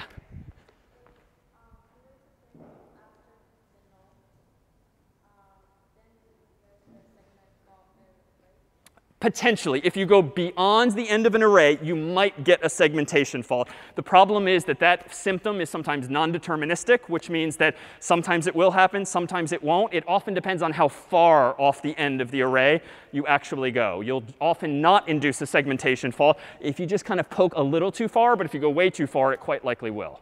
But we'll give you a tool today, actually, for detecting and solving exactly that kind of situation. So let's go ahead now and do something a little different in code, but that actually comes back to that spoiler from earlier. Let me go ahead and create a program called compare.c. And in this program, I'm going to go ahead and allow myself uh, the CS50 library, not so much for string, but so that I can actually use getInt still, which is way easier than the way we'll see that C normally lets you get input. Let me give myself standard io.h, do an int main void, not worrying about command line arguments today. And let me go ahead and get an int i using getInt and ask the human for the value of i. Then let me give myself an int j, ask the user for another int, calling it j. And then let me go ahead and kind of naively, but to your point earlier, if i equals equals j, then let's go ahead and print out something like same backslash n. Else, let's go ahead and print out different if they are not, in fact, the same. So that would seem to be a program that compares the value of two integers. All right, so let's go ahead and run make compare. So far, so good. Dot slash compare. OK, i will be 50. I, uh, j will be 50. They're the same. Let's do it once more. i will be 50. j will be 42 they are different. So, so far, so good in this first version of comparison. But as you might see where I'm going with this, let's move away from integers. And let's actually change these things to, char to strings. So I could do string s over here, get string s over here. Then I could do uh, string t over here and get string over here asking the user for t this time here. And then I can compare the two. If s equals equals t, and this is a common convention. If you've used s for string already, you can use t for the next one, at least for simple demonstrations like this. I'm going to compare the two, just like I did for ints, which worked great. Make compare. So far, so good. Dot slash address. Oh, uh, sorry, wrong program. Dot slash compare. Let me go ahead and type in something like uh, hi exclamation point, and bye exclamation point, which of course should definitely be different. Let me run it again with hi exclamation point and hi exclamation point. Huh, different. Maybe I, I messed up. Let's maybe do lowercase. Is maybe that'll fix. But no, those two are different. So to come back to what I described as a spoiler earlier, what's the fundamental issue here, to be clear? Why is it saying different, even though I'm pretty sure I typed the same thing twice? Yeah. Yeah, this is where it's now useful to know that string has been an abstraction, a training wheel, if you will. And if we take that away, still use getString because that's convenient still. But if I change string to be char star, it's a little more explicit as to what s and what t are. s is a pointer to a char. That is the address of a char. T is a pointer to a char. That is the address of a char. Specifically, the first character in S and the first character in T, respectively. So if I'm comparing these two, it should stand to reason that they're going to be different. Why? Because S might end up here in memory, and T might end up here in memory. Each time I call getString, it is not smart enough or advanced enough to know that, wait a minute, you typed the same thing. I'm just going to hand you back the same address. That doesn't happen because we did not design getString that way. Each time I call getString, it returns apparently, a different copy of the string that was typed in, a hi over here and a hi over here. They might look the same to the human, but to the computer, they are different chunks of memory, and therefore at different addresses. And here, too, we can reveal what is getString returning. Well, up until today, it was returning a string, so to speak. That's not really a thing. Technically, what getString has always been doing is returning the address of the first char in a string and trusting that we put a backslash 0 at the end of whatever the human typed in. And that's enough now for printf, for strlen, for you to know where a string begins and ends. So getString has actually always returned a pointer. It has not returned a quote unquote string per se. But there are functions that can solve this comparison for us. Recall that I could do something like this. I could actually go in here and I could, uh, let's see, where was it? So if I uh, include stir compare here and use it to pass in two values, s and t. Let's see now what happens when I make compare. Huh, implicitly declaring library function stir compare with type int. And well, there's a star. So you might have seen this error before, and you might have uh, ignored most of it. But there's some evidence of stars or pointers going on here. Uh, looks like I didn't include the string.h header file, so that's an easy fix include string.h, which despite its name does not create a data type called string. It just has string related functions in it, like stir compare. Let's make compare again. Now it compiles, dot slash compare. Now let's type in hi exclamation point, and even the same thing again. These are now, oh, I used it wrong. OK, user error. That was supposed to be impressive, but it's the opposite. What did I do wrong? What did I do wrong? Here, yeah. Yeah.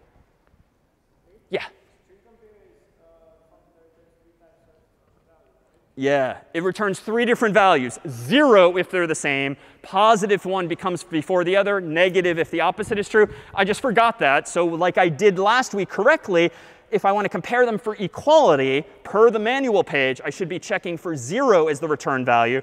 Now make compare, dot slash compare, enter. Let's try it one last time. Hi and hi. OK, now they're in fact the same. And Justin, thank you. And indeed, not that it's returning same all the time. If I type in hi and then bye, it's indeed noticing that difference as well. Well, let me go ahead and do one other thing here. Let's do one other thing. Let me go ahead now and just reveal more pictorially what's going on. Let's get rid of the string comparison, and let's just print these things out. The simple way to print this out would be with percent %s. And again, percent %s is special. Printf knows take in an address and start there, print every character up until the backslash n. So let's just hand it s and do that. And then let's do one more, percent %s, comma t. This is, again, sort of a mix of week one and this week, because I got rid of the word string. I'm using char star, but I'm still using printf and percent %s in the same way. Let me go ahead and run compare now. And if I type hi and hi, I should see the same thing twice. So they look the same. But here now we have the syntax today to print out the actual addresses of these things. So let me just change the s to a p, because p means don't go to the address and print it it means just print the address as a pointer. So make compare dot slash compare. And now let's type in hi and once more. And I should see indeed two slightly different addresses given in hexadecimal. One's got a B at the end, one's got an F at the end, and they are indeed a few bytes apart. So this is just confirming what our suspicions have actually been. So what does this mean perhaps in the computer's memory? Well, let's kind of take a look. I've zoomed out so I have a little more uh, squares to look at at once. Here might be s in memory when I do string s equals or char star s equals. I get a variable that's of size 1, 2, 3, 4, 5, 6, 7, 8, because I claimed earlier that on modern systems, pointers are generally 8 bytes nowadays, so they can count even higher. And inside of the computer's memory also might be hi. And I don't know where it ends up, so for the sake of discussion, it ended up down here. That's what was free when I ran the program. HI exclamation point backslash 0. Maybe it ended up, for the sake of discussion, at OX 1, 2, 3, 4, 5, and 6. So to be clear, what is S storing once the assignment operator copies from right to left? What is S storing if I advance one more slide? Yeah. 0x123, the presumption being that if a string is defined by the address of its first char, and that address of its first char is 0x123, then that's indeed what should be in the variable s. And so technically, that's what's been happening with that assignment operator from right to left. GetString indeed returns a string, so to speak, but more properly, it returns the address of a char. What's been then copied from right to left using that assignment operator all these weeks is indeed that address. Now, technically, we don't really need to care about where these addresses are. It suffices to just think about them sort of referentially. But let's first consider where t might be.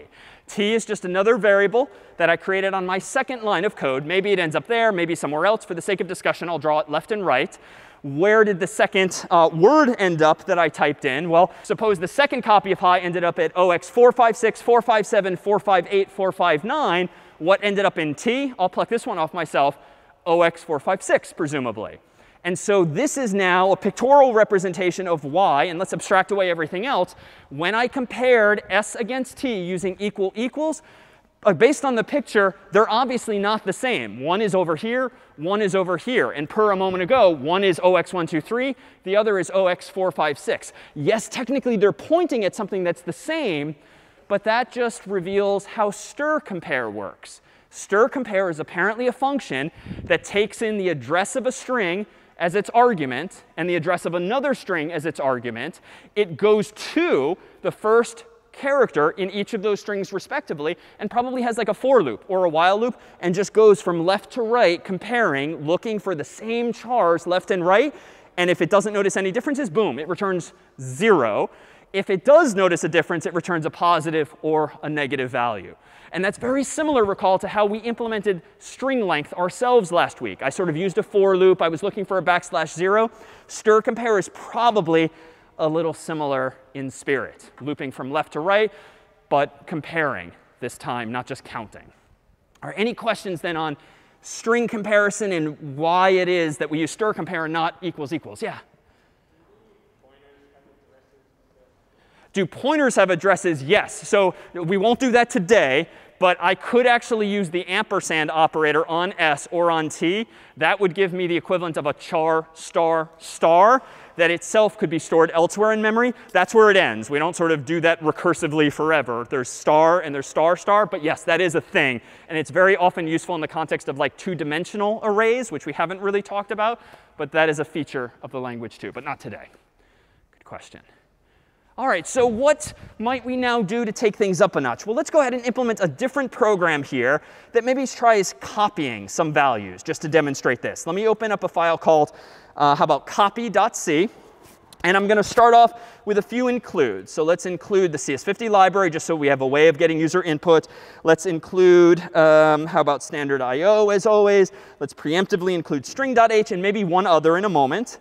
Let's do int main void as before. And then in here, let's get a string from the user and just call it s for simplicity. And heck, we can actually just call this uh, char star if we want, or string, since we're using the CS50 library, but we'll come back to that. Let's now make a copy of s and do s equals t using a single assignment operator. And then let's check something like this. Let's go into the first character of t, which is t bracket 0. And then let's uppercase it using that function that we've used in the past of to upper, t bracket 0 semicolon. And actually, I should go back up here. If I'm using to upper, or if you've used to lower, or is upper, or is lower, um, might not remember this offhand, but it was in another header file called ctype.h. There was a bunch of helpful functions in that library as well. Now, at the very last line of the program, let's just print out what both s and t are by simply printing out percent %s for each of them. And t is percent %s also not percent %t, of course.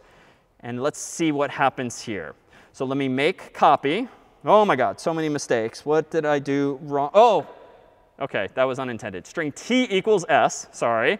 So I'm creating two variables, s and t respectively, and I'm copying s into t. Make copy, enter. There we go. Dot slash copy. And let's now type in, for instance, uh, how about hi exclamation point in all lowercase this time. And now what gets printed. Huh.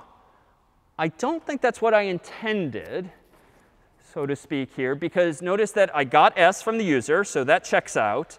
I then copied t into s, which looks correct. That's what we always use assignment for.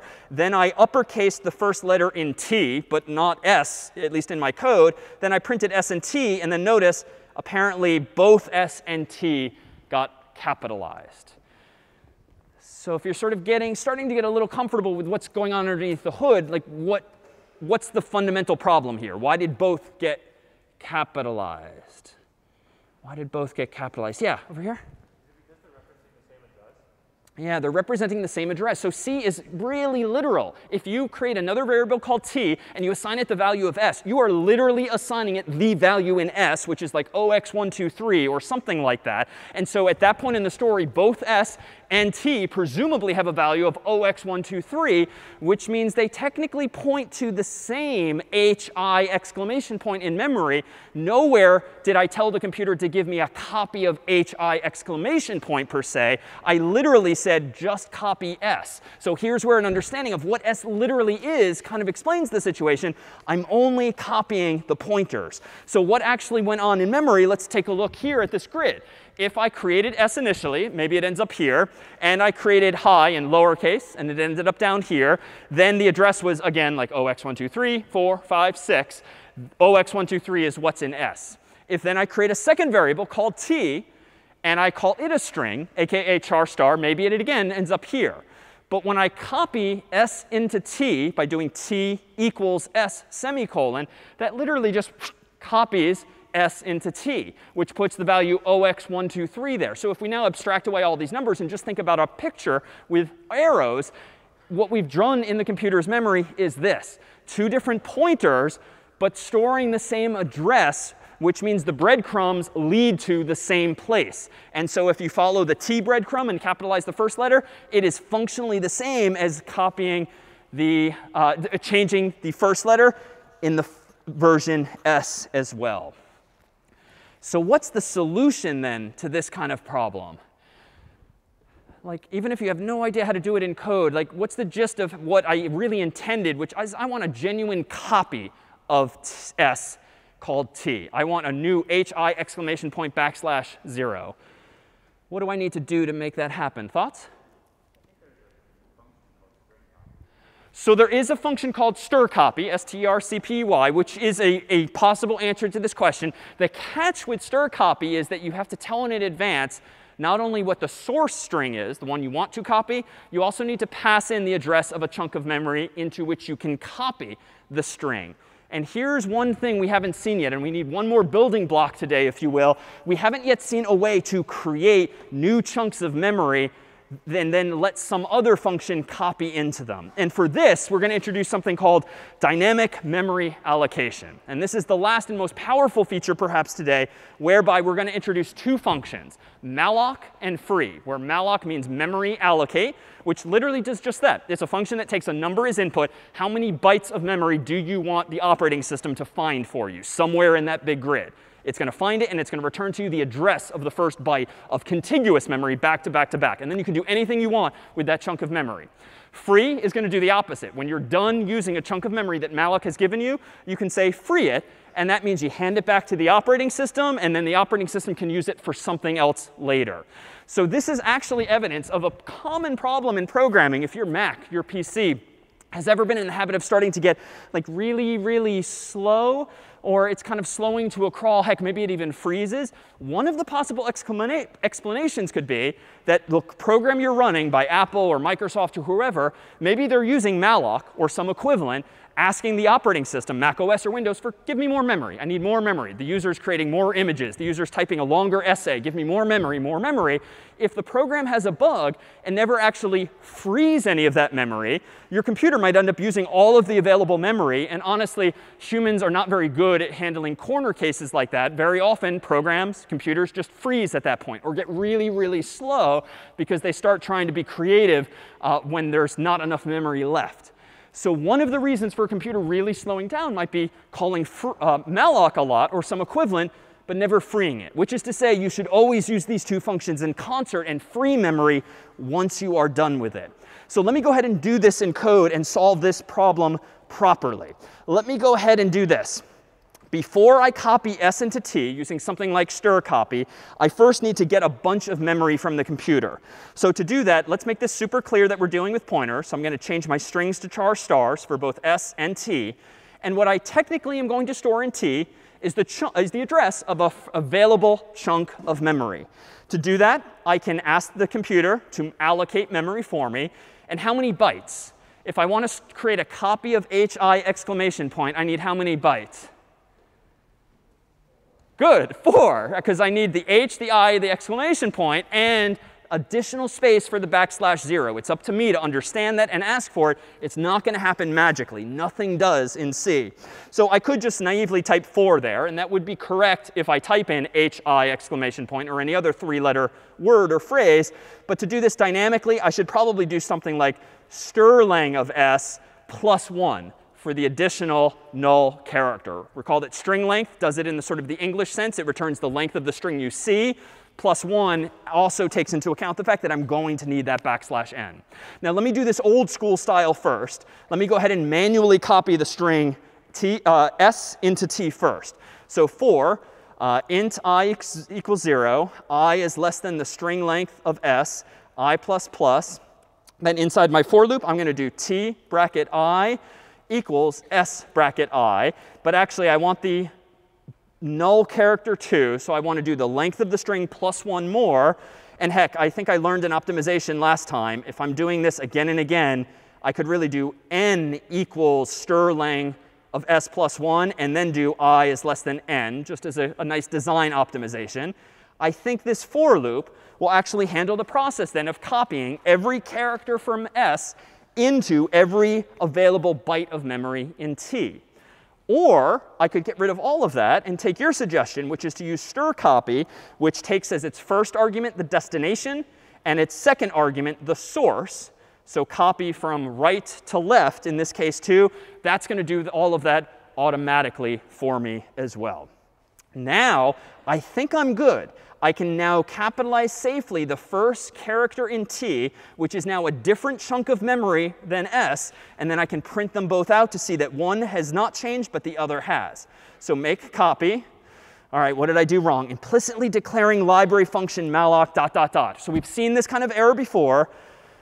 What is, even if you don't know quite how to solve it, what's the essence of the solution? What do I need to do to fix this kind of problem involving implicitly declaring a library function?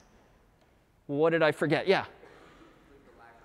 I need to include the library. And I could look this up in the manual, uh, or I can I know it off the top of my head. I just forgot it. There's another library we'll occasionally need now called standard lib, standard library, that contains malloc and free prototypes and some other stuff too. All right, let me just clear this away and do make copy one more time. Now I'm good. Dot slash copy, enter. All right, S, I'm going to type in hi lowercase, T, and S. Now come back as intended. S is untouched, it would seem, but T is now capitalized. All right, any questions then on what we just did in code? Yeah.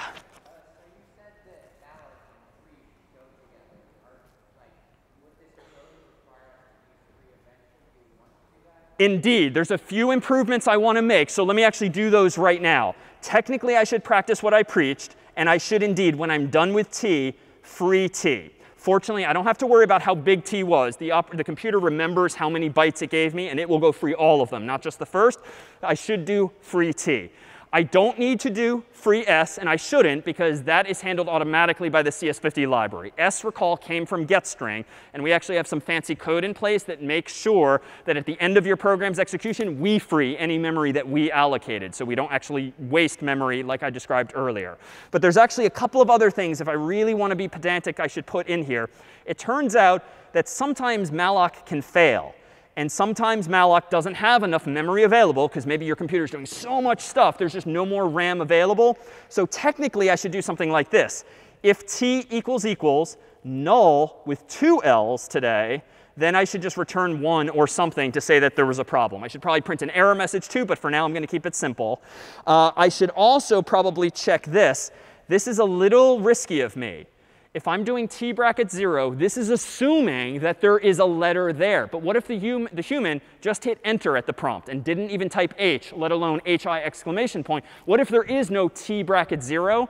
So technically, what I should probably do here is if the length of t is at least greater than 0, then go ahead and safely capitalize the first letter of it.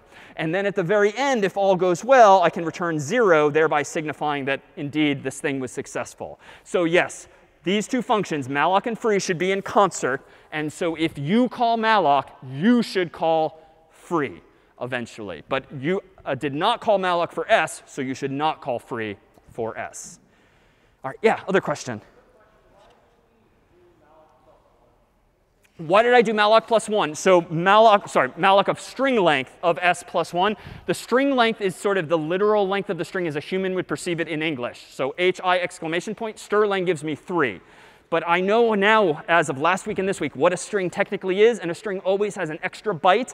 The onus is on me to understand and apply that lesson learned so that I actually give strcpy enough room for that trailing null character. And here's just an annoying thing. When we call the backslash 0 NUL uh, last week, uh, it turns out that NULL is the same idea. It's also 0, but it's 0 in the context of pointers. So long story short, you never really write NUL. I've just said it, and we saw it on the screen. You will start writing NULL when you want to check whether or not a pointer is valid or not. And what I mean by that is this. If malloc fails and there's just not enough memory left inside of the computer for you, it's got to return a special value. And that special value is N-U-L-L in all capital letters. That signifies something went wrong. Do not trust that I'm giving you a useful return value. Other questions on these copies thus far? Yeah, over there.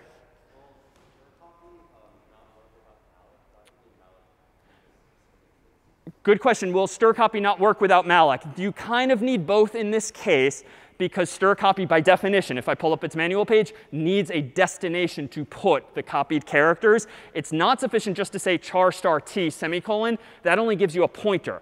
But I need another chunk of memory that's just as big as hi exclamation point backslash 0. So malloc gives me a whole bunch of memory and then strcpy fills it with hi exclamation point backslash 0. So again, that's why we're sort of going down to this lower level, because once you understand what needs to be done, you now have the functions to do it. So let's actually consider what we just solved. So in this SNIX version of the program where I actually introduced malloc, t was initialized to the return value of malloc. And maybe the memory that I got back was here, 0x456, 457, 458, 459. I've left it blank initially because nothing is put there automatically by malloc. I just get a chunk of memory that is now mine to use as I see fit. I then assign t to that return value, which points t at the first address. Notice there's no backslash 0. This is not yet a string. It's just a chunk of memory, 4 bytes, an array of 4 bytes. What strcpy eventually did for me was it copied the h over, the i over, the exclamation point over, and the backslash 0. And if I didn't want to use strcpy or I forgot that it existed, my for loop would have done exactly the same thing. All right, any questions then on these examples here? Any questions? Yeah?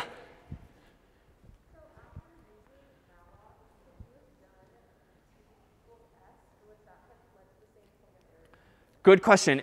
After malloc, if I had then still done just t equals s, it actually would have recreated the same original problem by just copying ox123 from s into t.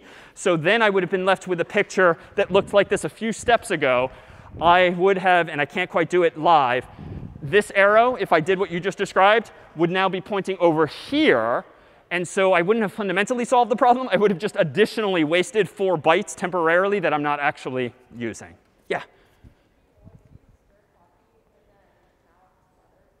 Um, you can, can you, do you always use malloc and strcpy together? Not necessarily. These are both solving two different problems. Malloc's giving me enough memory to make a copy. Stir strcpy's doing the copy. However, you could actually use an array if you wanted of characters, and you could use strcpy on that. And there's other use cases for strcpy. But thus far, it's a reasonable mental model to have that if you want to copy strings, you use malloc and then strcpy, or your own homegrown loop.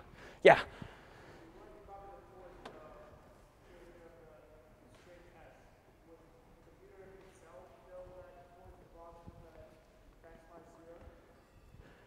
Say that once more.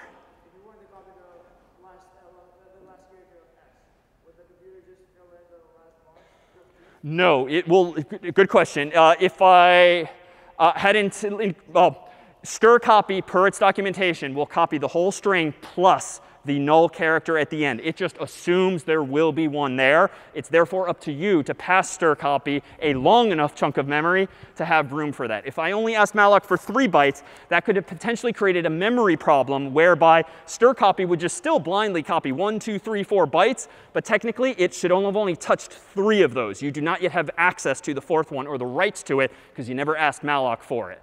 Uh, yeah.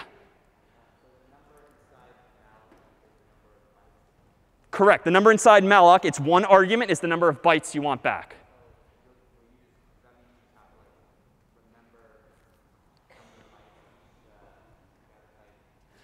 Yes, the onus is on you, the programmer, to remember or frankly use a function to figure out how many bytes you actually need. That's why I did not ultimately type in 4 manually. I used strlength plus 1. So the plus 1 is necessary if you understand how strings are represented. But using strlen means that it, I can actually play around uh, with any types of inputs, and it will dynamically figure out the length.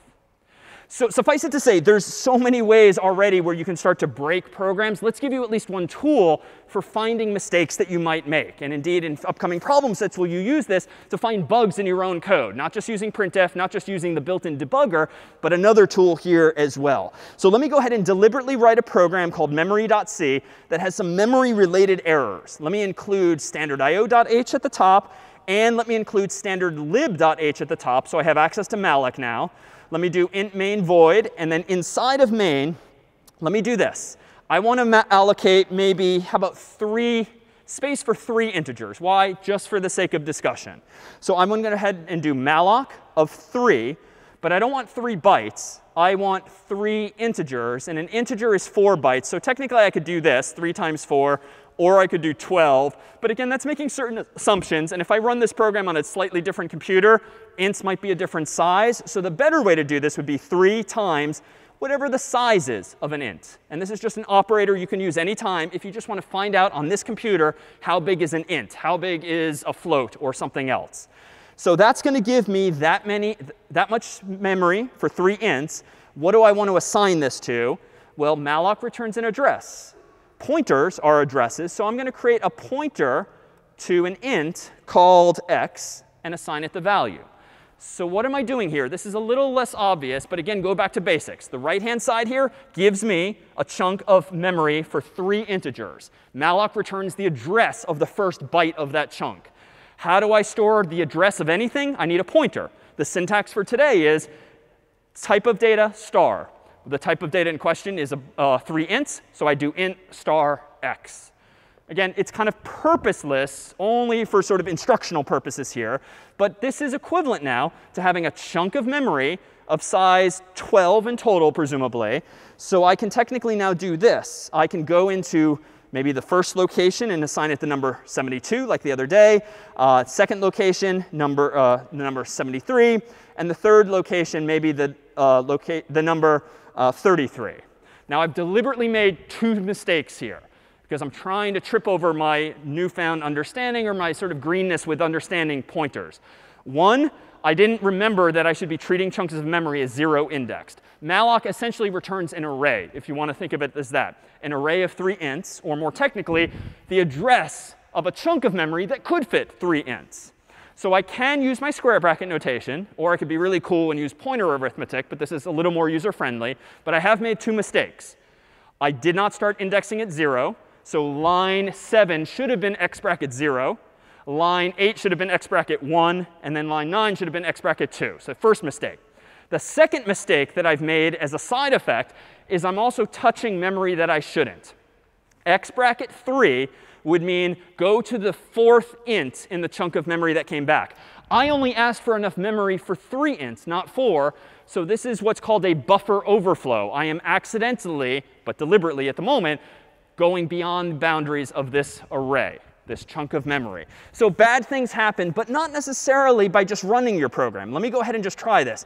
Uh, make memory. And you'll see here that it compiles OK. Dot slash memory and it actually does not segmentation fault, which comes back to that point of non-determinism. Sometimes it does, sometimes it doesn't. It depends on how bad of a mistake you made. But there's a program that can spot these kinds of mistakes. And I'm going to go ahead and expand my terminal window for a moment. And I'm going to run not just dot slash memory, but a program called valgrind dot slash memory.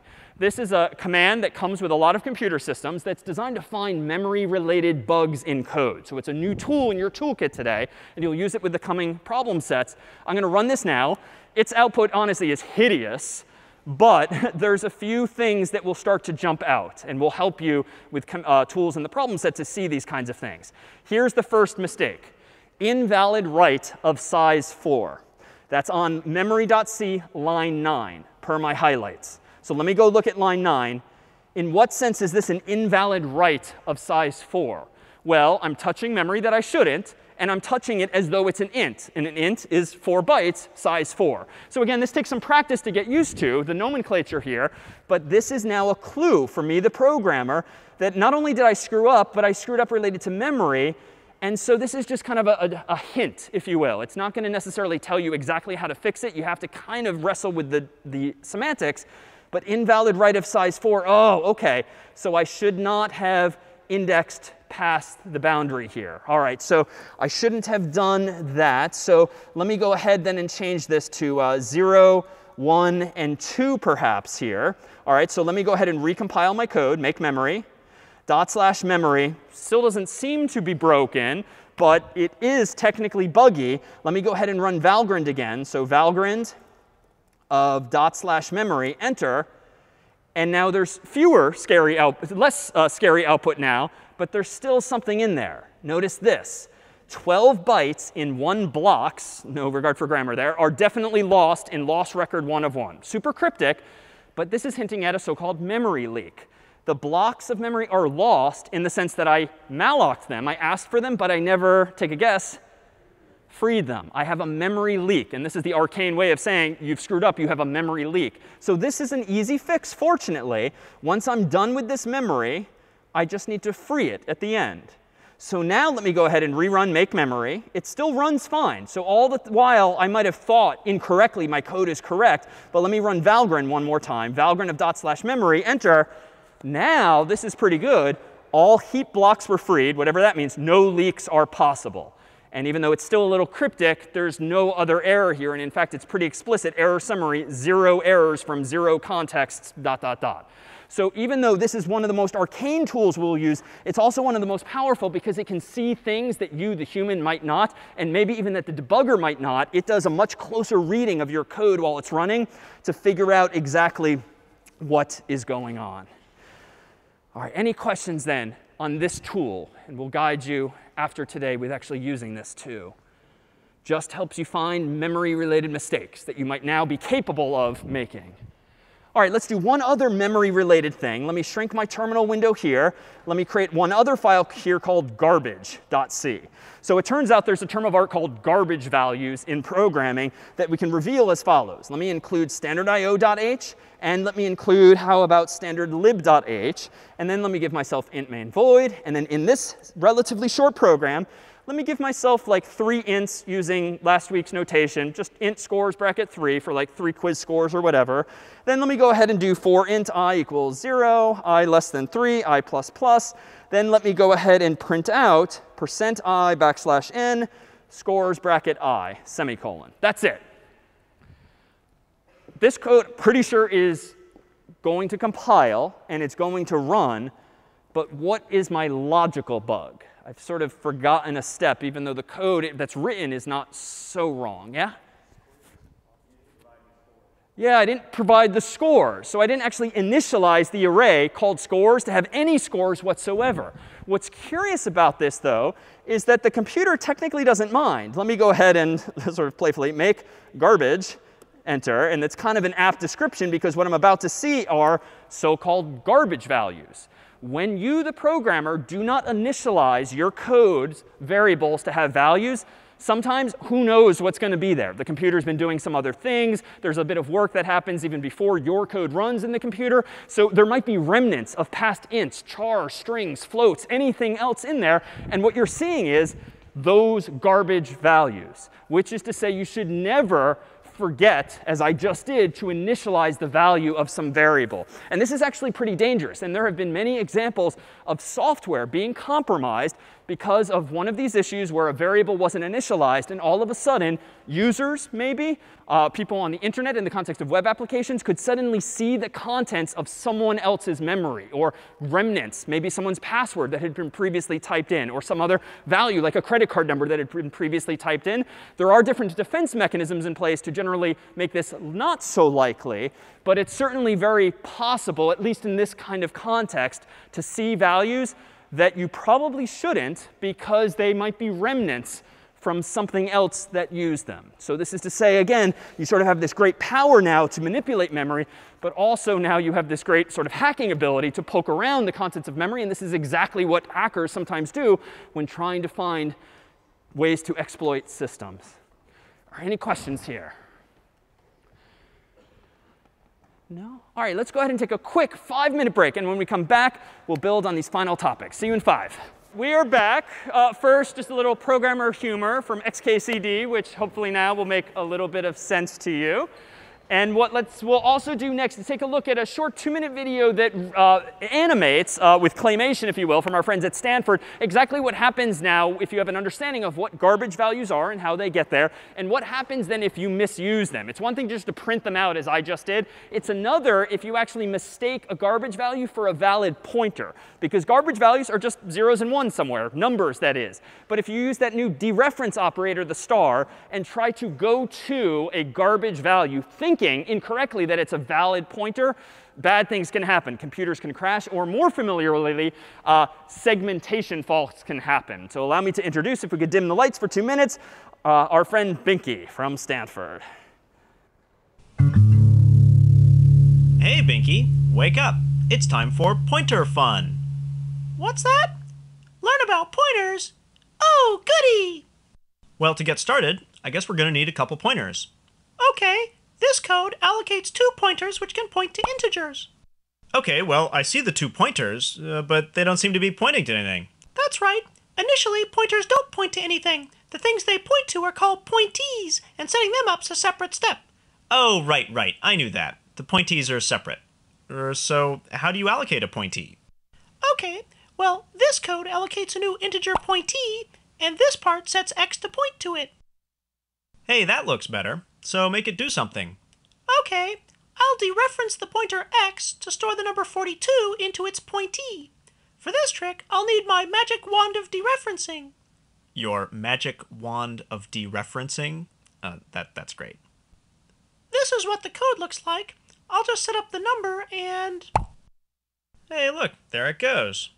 So doing a dereference on x follows the arrow to access its pointee, in this case to store 42 in there. Hey, try using it to store the number 13 through the other pointer, y. Okay, I'll just go over here to y and get the number 13 set up, and then take the wand of dereferencing and just... Whoa! Oh, hey, that didn't work. Say, uh, Binky, I don't think dereferencing y is a good idea, because, uh, you know, setting up the pointee is a separate step, and uh, I don't think we ever did it. Hmm, good point. Yeah, uh, we, we allocated the pointer y, but we never set it to point to a pointee. Hmm, very observant. Hey, you're looking good there, Binky. Can you fix it so that y points to the same pointee as x? Sure, I'll use my magic wand of pointer assignment. Is that going to be a problem like before? No, this doesn't touch the pointees. It just changes one pointer to point to the same thing as another. Oh, I see. Now y points to the same place as x. So, so wait, now y is fixed. It has a pointee. So you can try the wand of dereferencing again to send the 13 over. Uh, okay. Here goes. Hey, look at that. Now dereferencing works on y. And because the pointers are sharing that one pointee, they both see the 13. Yeah, sharing, uh, whatever. So are we going to switch places now? Oh, look, we're out of time.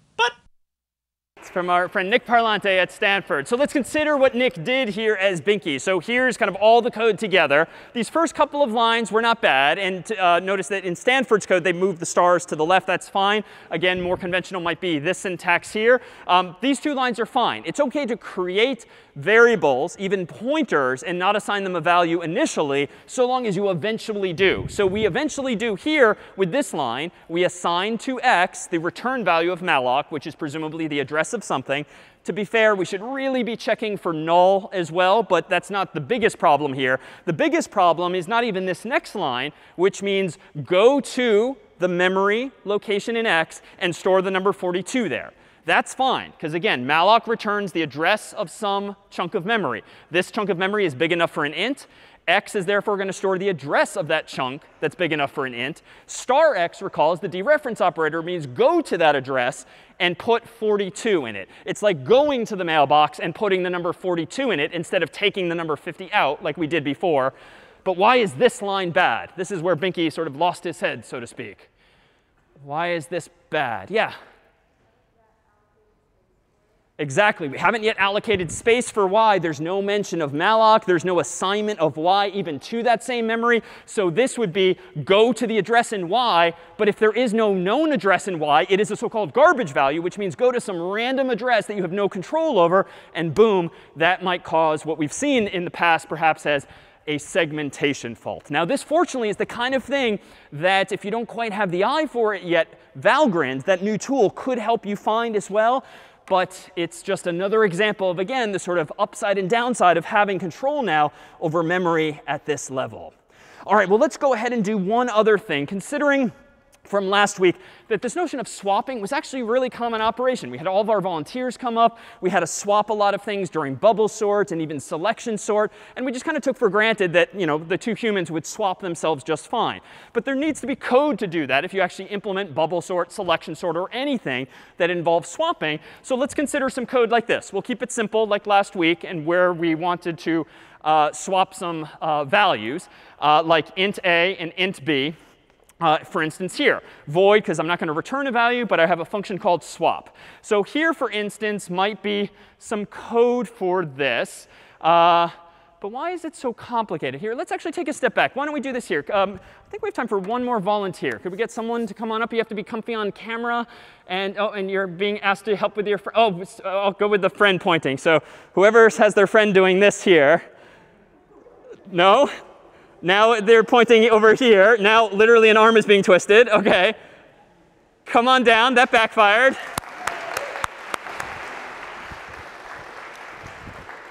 Come on over.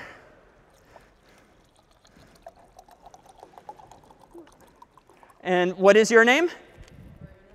Marina? Yeah. Nice to meet you. Who were you trying to volunteer? My friend Jessica. OK. So here we have for Marina two glasses of liquid, orange and purple, just so that they're super obvious. And suppose that the problem ha at hand, like last week, is just to swap two values, like as though these two glasses represented two people, and we want to swap them. But let's consider these glasses to be like variables or location in an array. And you know what? I'd really like you to swap the values. So like orange has to go in there, and purple has to go in there. How would you do it? And we'll see if we can then translate that to code. OK, what, did you say it a little louder?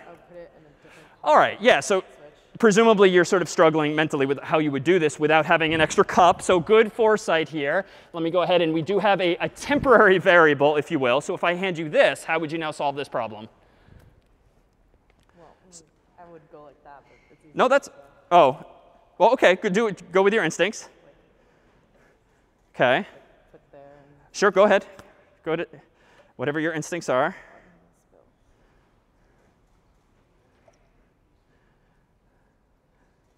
Yeah, so a little, so strictly speaking, probably shouldn't have moved the glasses just because that would be like moving the array locations. So let's actually do it one more time.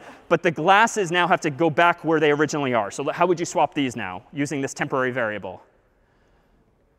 OK, good. Otherwise, we'd be completely uprooting the array, for instance, by just physically moving it around. So you moved the orange into this temporary variable. Then you copied the purple into where the orange was. And now presumably. Excellent. The orange is going to end up where the purple once was. And this temporary variable, it's sort of some extra memory. It was necessary at the time, but not necessary ultimately. But a round of applause if we could. And thank you for doing that so well. so right, the fact that it sort of instantly occurred to Mariana that like you need some temporary variable is a perfect translation to code. And in fact, this code here that we might glimpse now is reminiscent of exactly that algorithm, where A and B at the end of the day are the same chunks of memory. Just like the second time, the two glasses have to kind of stay put, even though we're physically lifting them, but they're going back to where they were. It's kind of like having two values, A and B, and you just have a temporary variable into which you copy A, then you change A with B, then you go and change B with whatever the original value of A was, because you temporarily stored it in uh, this temporary variable, TMP.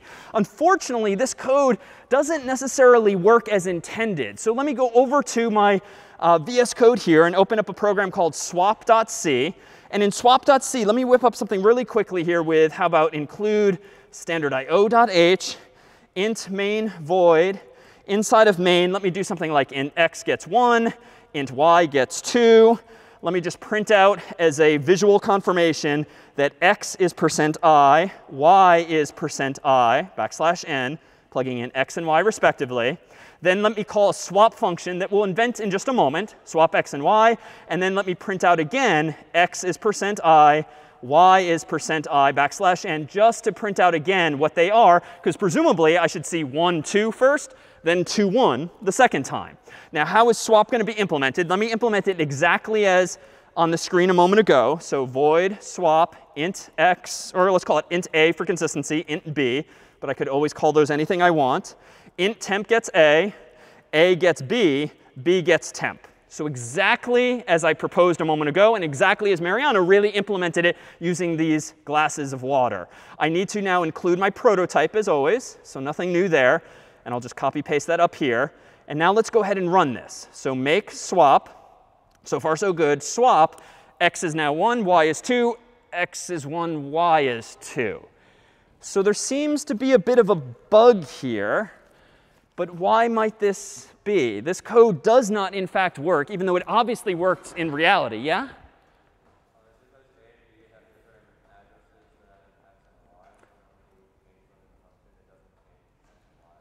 Good, and let me summarize. A and B do indeed have different addresses of x and y. And in fact, what happens when you call a function like this on line 11, calling swap, passing in x and y, you are calling a function by value, so to speak. And this is a term of art that just means you are passing in copies of x and y, respectively, and calling them a and b in the context of this function. But they're indeed copies. Now, technically, these names are local only. I could have called this x, I could have called this y, I could have changed this to x, this to y, this to x, and this to y the problem would still remain. Just because you use the same names in one function as you do elsewhere, that doesn't mean they're the same. They just look the same to you. But indeed, swap is going to get copies of this x and y. And in this context, this scope, so to speak, uh, x and y will be copies of the original. So for clarity, let me revert this back to a and b, just to make super clear that they're indeed different, albeit copies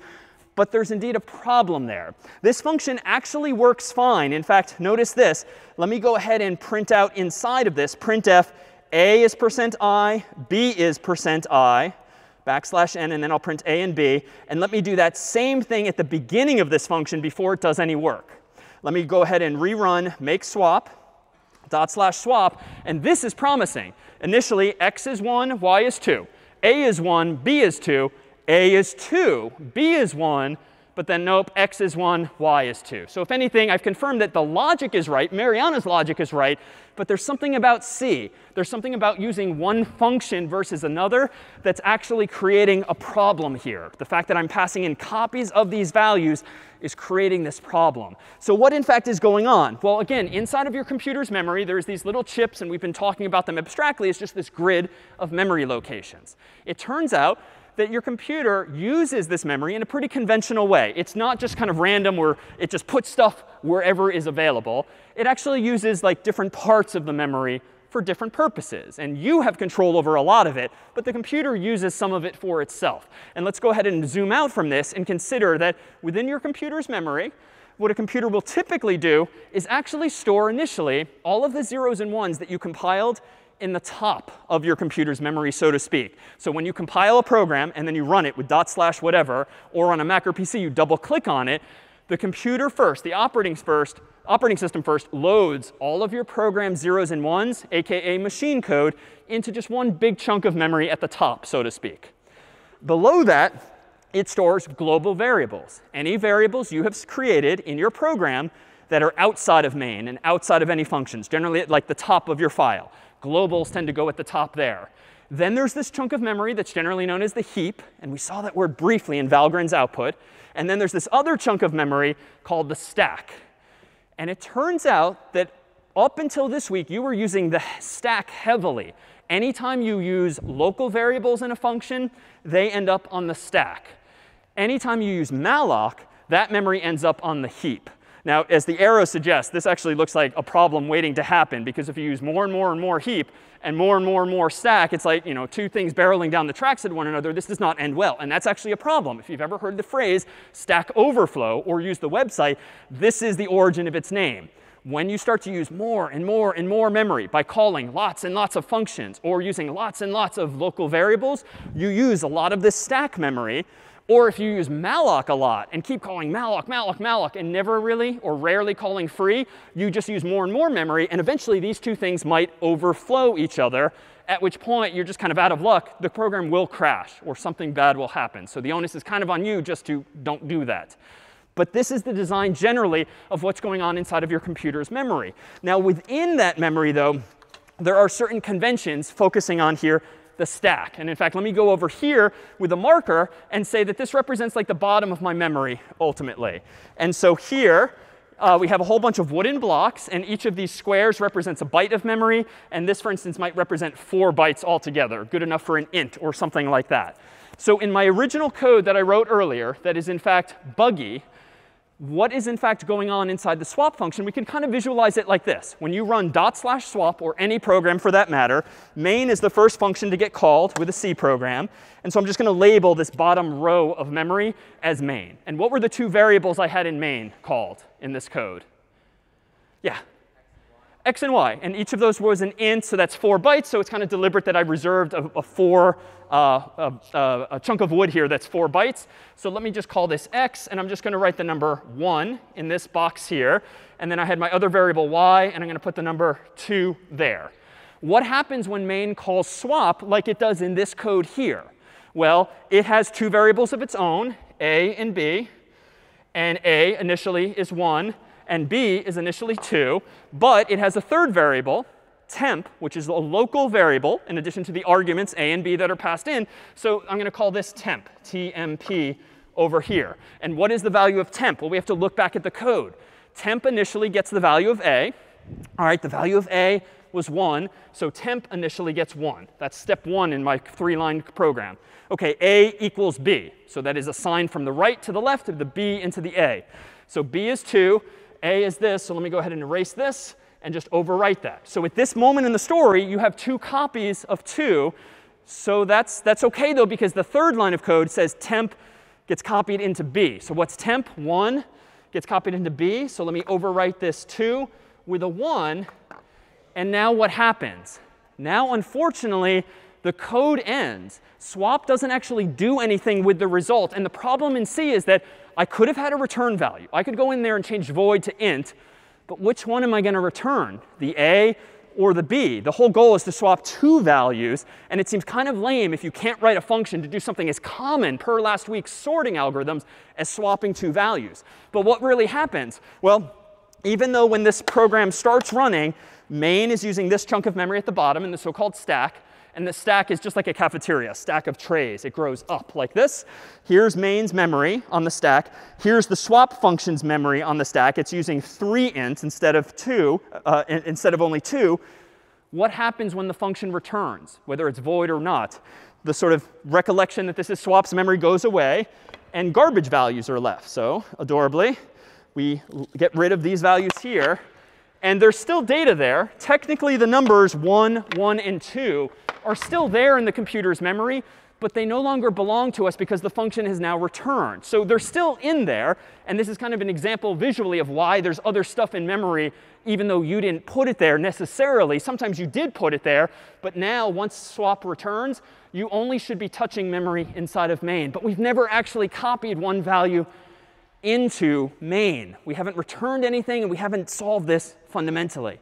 So how could we do this? Well, what if we instead passed into swap not copies of x and y, calling them a and b, what if they passed in breadcrumbs to x and y, sort of a treasures map that will lead swap to the actual x and to the actual y? Today, we have that capability using pointers. So suppose that we use this code instead. There's a lot of stars going on here, which is a bit annoying, but let's consider what it is we're trying to achieve. What if we pass in not x and y, but the address of x and the address of y, respectively? Breadcrumbs, if you will, that will lead swap to the original values. Then what we do is we still give ourselves a temp variable, like an empty glass. It's still a glass, so we still call it an int. But what do we want to put into that temporary variable? We don't want to put a into it, because that's an address now. We want to go to that address per the star and put whatever's at that address. What do we then want to do? Well, we want to then copy into whatever's at location A. We want to copy over to location A's contents, whatever is at locations B's contents. And then lastly, we want to copy temp into whatever's at location B. So again, we're very deliberately introducing all of these stars because we don't want to change any of these addresses. We want to go to these addresses per the dereference operator and put values there or get values from. So what does this actually mean? Well, if I kind of rewind in this story and I go back here, I still have temp, although I'm going to delete its value to begin with. I still have uh, B, and I still have A. But what's going to be different this time is how I use A and B. So let me finish erasing those. That's A on the left. This is B on the right. At this point in the story, we're rerunning swap with this new and improved version. And let's see what happens. Well, x is presumably at some address. Maybe it's like 0x123 as always. What then does A get when I'm using this code? The value of A is 0x123.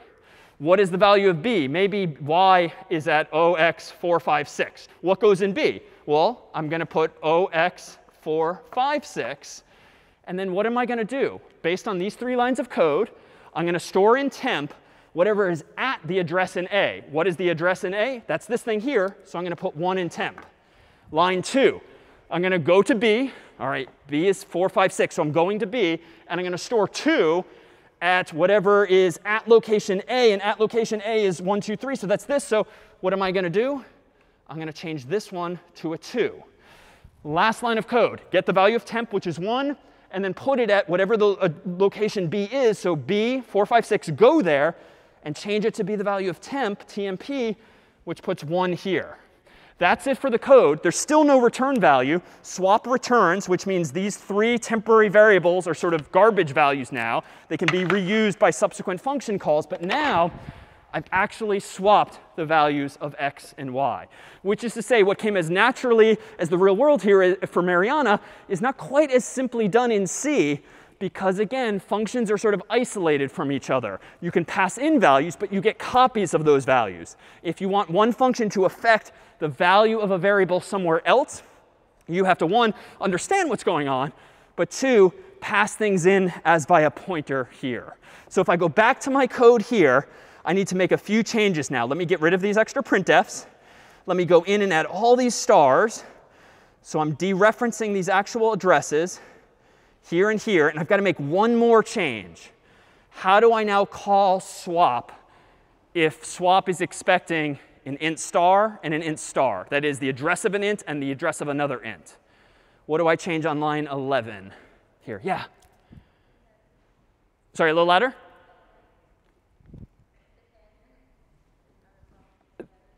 Sorry, the, the address of operator. So up here on line 11, we do ampersand x and ampersand y. So that, yes, we're technically passing in a copy of a value, but this time the copy we're passing in is technically an address. And as soon as we have an address, just like when I held up the uh, fuzzy finger, the foamy finger, I can point at that address. I can go to that address and actually get a value from the mailbox or put a value into the mailbox if I even want. So let's cross our fingers now and do make swap, enter. Oh my God, so many mistakes. Oh, I didn't remember to change my prototype. So let me go way up here and add two more stars, because I made that change already. Make swap, dot slash swap. And voila, now I have actually swapped. Thank you. Thank you, the two values. All right, so what more can we do here? Well, let me consider that all this time we've been deliberately using get string and get int and get float and so forth, but for a reason. These aren't just training wheels for the sake of like making things easier. They're actually in place to make your code safer. And to illustrate this, let me go ahead and open up one other file here. How about a file called uh, code uh, scanf.c? It turns out that the old school way, the way in C really, of getting user input is via functions like scanf. And let me go ahead and include standard.io.h int main void. And without using the CS50 library at all for strings or for any of those get functions, let me give myself an int called x. Let me just print out what the value of x is, even though it's going to be, um, or rather ask the user for the value by asking them for x. And I'm going to use a function called scanf that's going to scan in an integer using percent %i. And I'm going to store whatever the human types in at this location. And then I'm going to go ahead and just so we can see what happened, I'm going to print out with percent %i whatever the human typed in as follows. All right, so line 8 is week 1 style code. Line 5 and 6 is week 1 style code. So the curiosity today is this new line. Scanf is another function in standard.io.h. And notice what I'm doing. I'm using the same syntax that I use for printf, which is kind of a little clue, a format code to tell scanf what it is I want to scan in, that is, read from the human's keyboard and I'm telling it where to put whatever the human typed in. I can't just say x, because we run into the same darn problem as with swap. I have to give a little breadcrumb to the variable where I want scanf to put the human's integer. And so this just tells the computer to get an int. This is what you would have had to type essentially in week one just to get an int from the user. And there's a whole bunch of things that can go wrong still, but that's the cryptic syntax we would have had to show you in week one. Let me go ahead and make scanf here oops, uh, user error, put the semicolon in the wrong place. Make scanf, enter. Oh my God. Uh, non-void doesn't return a value. Oh, thank you. Strike two. OK. Make scanf. There we go. OK, so scanf, I'm going to type in a number like 50, and it just prints it back out. So that is the sort of traditional way of implementing something like getInt. The problem, though, is when you start to get into strings, things get dangerous quickly. Let me delete all of this and give myself a string s, although wait a minute, we don't call it strings anymore, char star to store a string. Then let me go ahead and just prompt the user for a string using just printf. Then let me go ahead and use scanf, ask them for a string this time with percent %s, and store it at that address. Then let me go ahead and print out whatever the human typed in just by using the same notation. So here, line 5 is the same thing as string s, but we've taken back that layer today, so it's char star s. This is just week 1. This is just week 1. Line 7 is new. scanf will also read from the human's keyboard a string and store it at s. But that's OK, because s is an address. It's correct not to do the ampersand. It's not necessary. A string is and has always been a char star, aka string. The problem, though, arises as follows. If I do make scanf, oh my god, what did I do? Oh, uh, I can't. OK, we have certain defenses in place with make. Let me do clang of scanf.c and output a program called scanf. All right, so I'm overriding some of our pedagogical defenses that we have in place with make. Let me now run scanf of this version, enter, and let me type in something like, uh, how about hi again? Huh. So it didn't even store something, and it weirdly printed out null. This time it's in lowercase, but that is somewhat related. What did I fundamentally do wrong, though, here? Why is this getting more and more dangerous? And let me illustrate the point even more. What if I type in not just something like hello, which also doesn't work. What if I do like hello and make a really long string, enter. That still works. Can I do this again? Let's try again. Right, a really long, unexpectedly long string. This is the non-determinism kicking it. Enter. All right, damn it. I was trying to trigger a segmentation fault, but it wouldn't. Uh, but the point still remains. It's still not working. But what's the essence of why this isn't working and it's not storing my actual input? Yeah uh, we have to make space for it. So what we're missing here is malloc or something like that. So I, I could do that. I could do something like this. Well, let me let the human type in at least a three-letter word. So I could do malloc of 3 plus 1 for the, new, uh, for the null character. So like, let me give them four characters. And let me go ahead and do make scanf. Whoops. Uh, nope, sorry. Clang. I have to circ. Nope. Damn it. Oh. Include standard lib.h there we go. That gives me malloc. Now I'm going to recompile this with clang. Now I'm going to rerun it. And now I'm going to type in my first thing, hi. That now works. And let me get a little aggressive now and type in hello, which is too long. Still works, but I'm getting lucky. Let me try a hello. Damn it, that still works too. Sort of. But it actually, not quite. There's some weirdness going on there already. It turns out I can also do this. I could actually just say char star 4 and give myself an array of four characters. Let me try this one more time. So let me rerun clang dot slash scanf. Hello, clearly exceeding the four characters. There we go. Thank you. All right, so the, the point here, though, is if we hadn't given you getInt, you would have had to use the scanf thing. Not a huge deal because it seemed to work. But if we hadn't given you getString, you would have had to do stuff like this, knowing about malloc already, or knowing about strings being arrays. And even now, there's a danger if the human types in five letters, six letters, 100 letters, this code, like with the hello input, will probably just crash, which is bad. So getString also has this functionality built in where we have a fancy loop inside such that we allocate, using malloc, as many bytes as you physically type in. And we use malloc essentially every keystroke. The moment you type in H, E, L, L, O, we're sort of like laying the tracks as we go. And we keep allocating more and more memory so that we, theoretically, will never crash with getString, even though it's this easy to crash, this easy to crash your code using scanf if you, again, did it without the help of a library. So where are we all going with this? Well, let me show you a few final examples that'll pave the way for what will be problem set 4. Let me go ahead and open up from uh, today's code, which is available on the course's website. For instance, a program like this. uh, called phonebook.c. And I'm just going to give you a quick tour of it that you'll see more details on in the context of pset 4 itself. We're going to introduce a few new functions you're going to see. You're going to see a function called fopen, which stands for file open. And it takes two arguments, the name of a file to open, like a CSV that you might manipulate in Excel or Google Spreadsheets or the like, comma, separated values. And then something like A for append, R for read, W for write, depending on whether you want to add to the file, just open it up, or change it.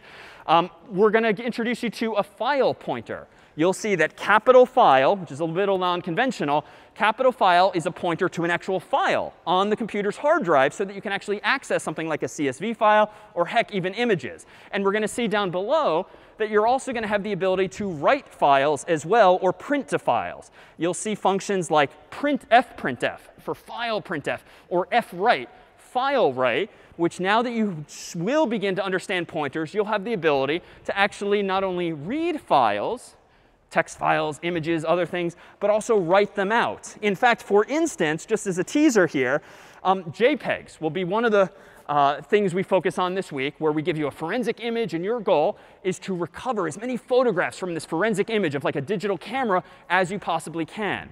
And the way you're going to do that is by knowing in advance that every JPEG in the world starts with these three bytes, written in hexadecimal, but these three numbers.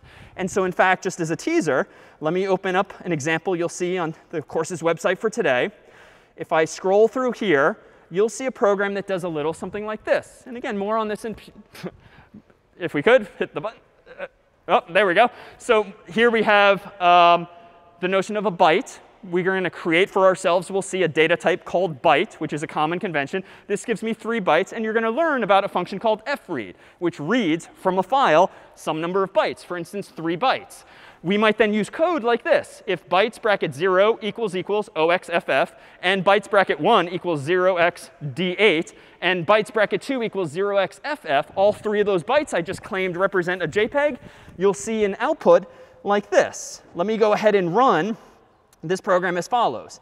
Let me copy jpeg.c into my directory from today's distribution. Let me do make uh, JPEG. And let me run JPEG on a file, which is available online, called lecture.jpg. And I claim, yes, it's possibly a JPEG. Well, what is that file? Let me open it up for us called lecture.jpg. And here, for instance, is that same photo with which we began class, namely implemented as a JPEG.